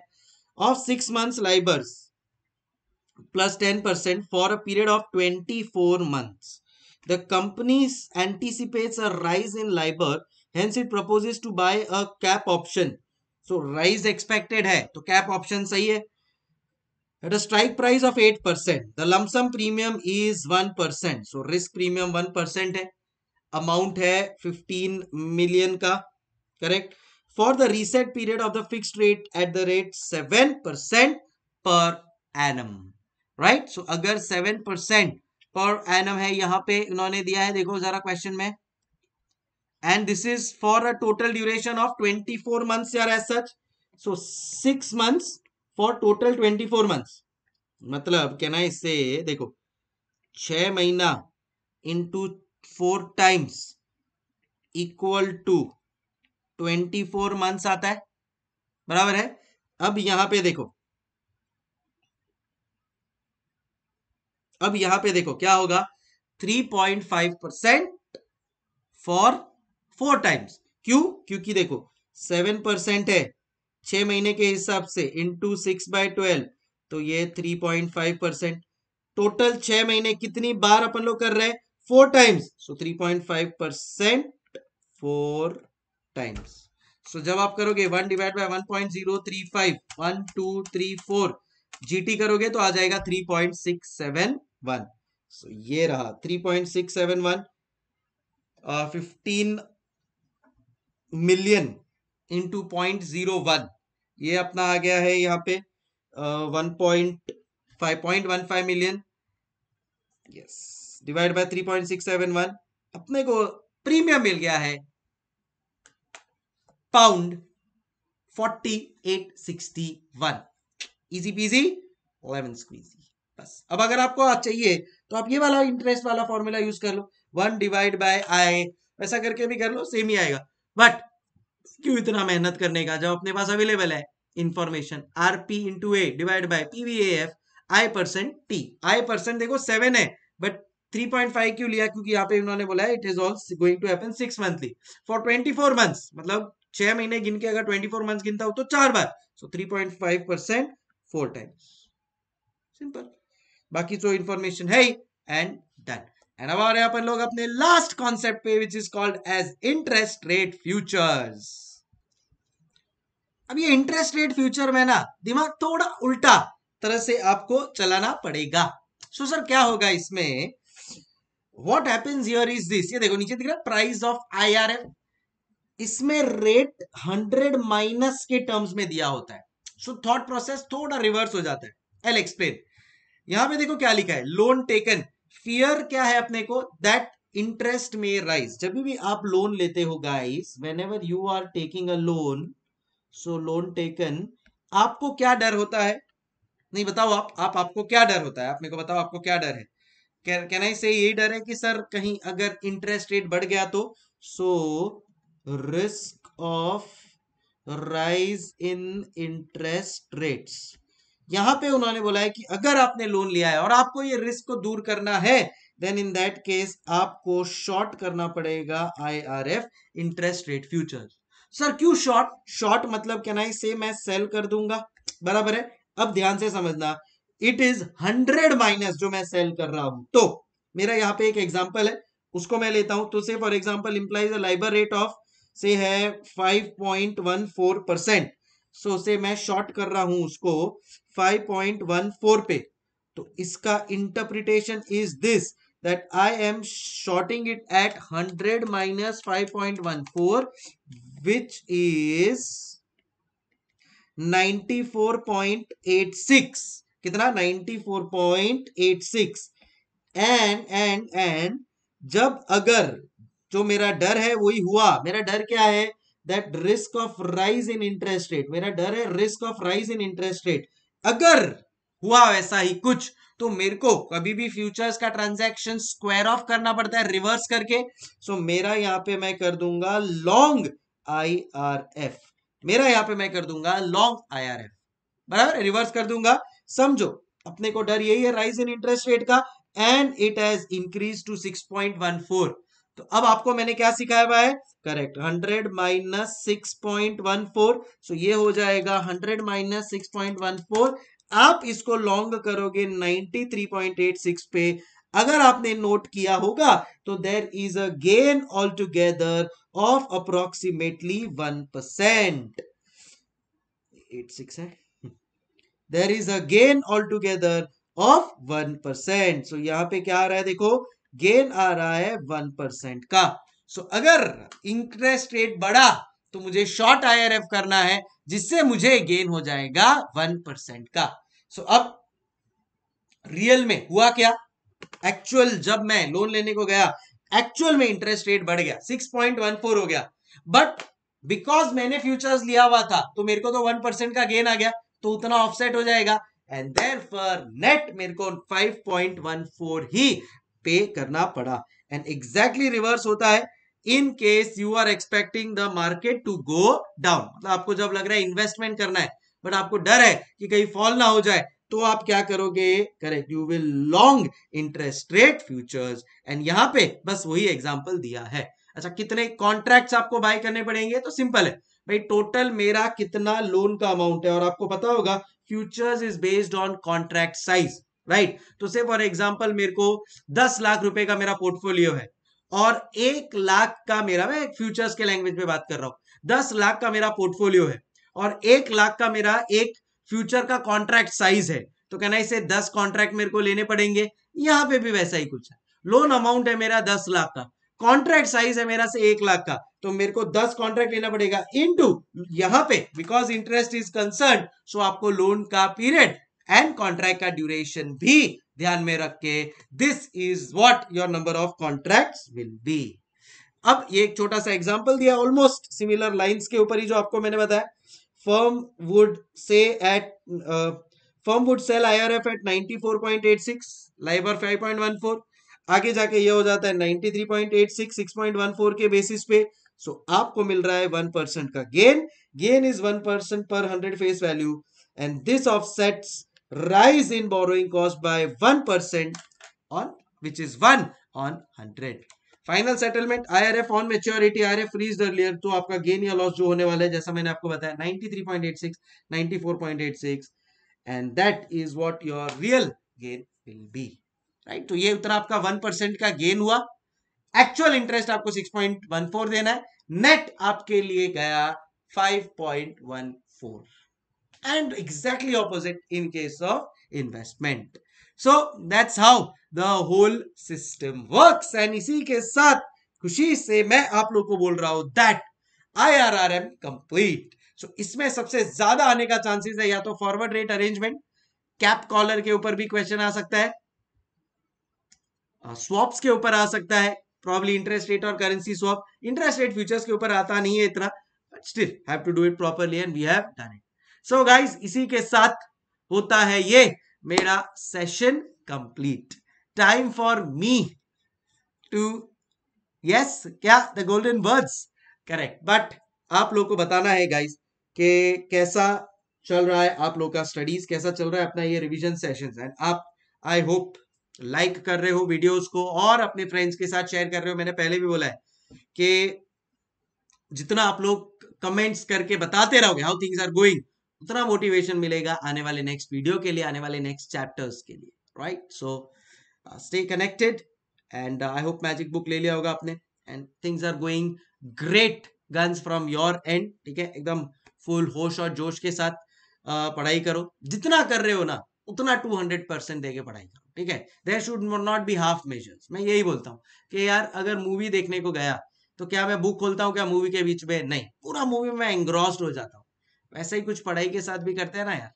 जब पढ़ाई कर रहा हो तो सामने इंस्टाग्राम टेलीग्राम या मूवी के चर्चे या ख्याल क्यों आ रहे should be engross totally into that right so guys time for me your to say आस्ता right and keep smiling do share anything else that you want from me take care bye thank you so much have a good time take care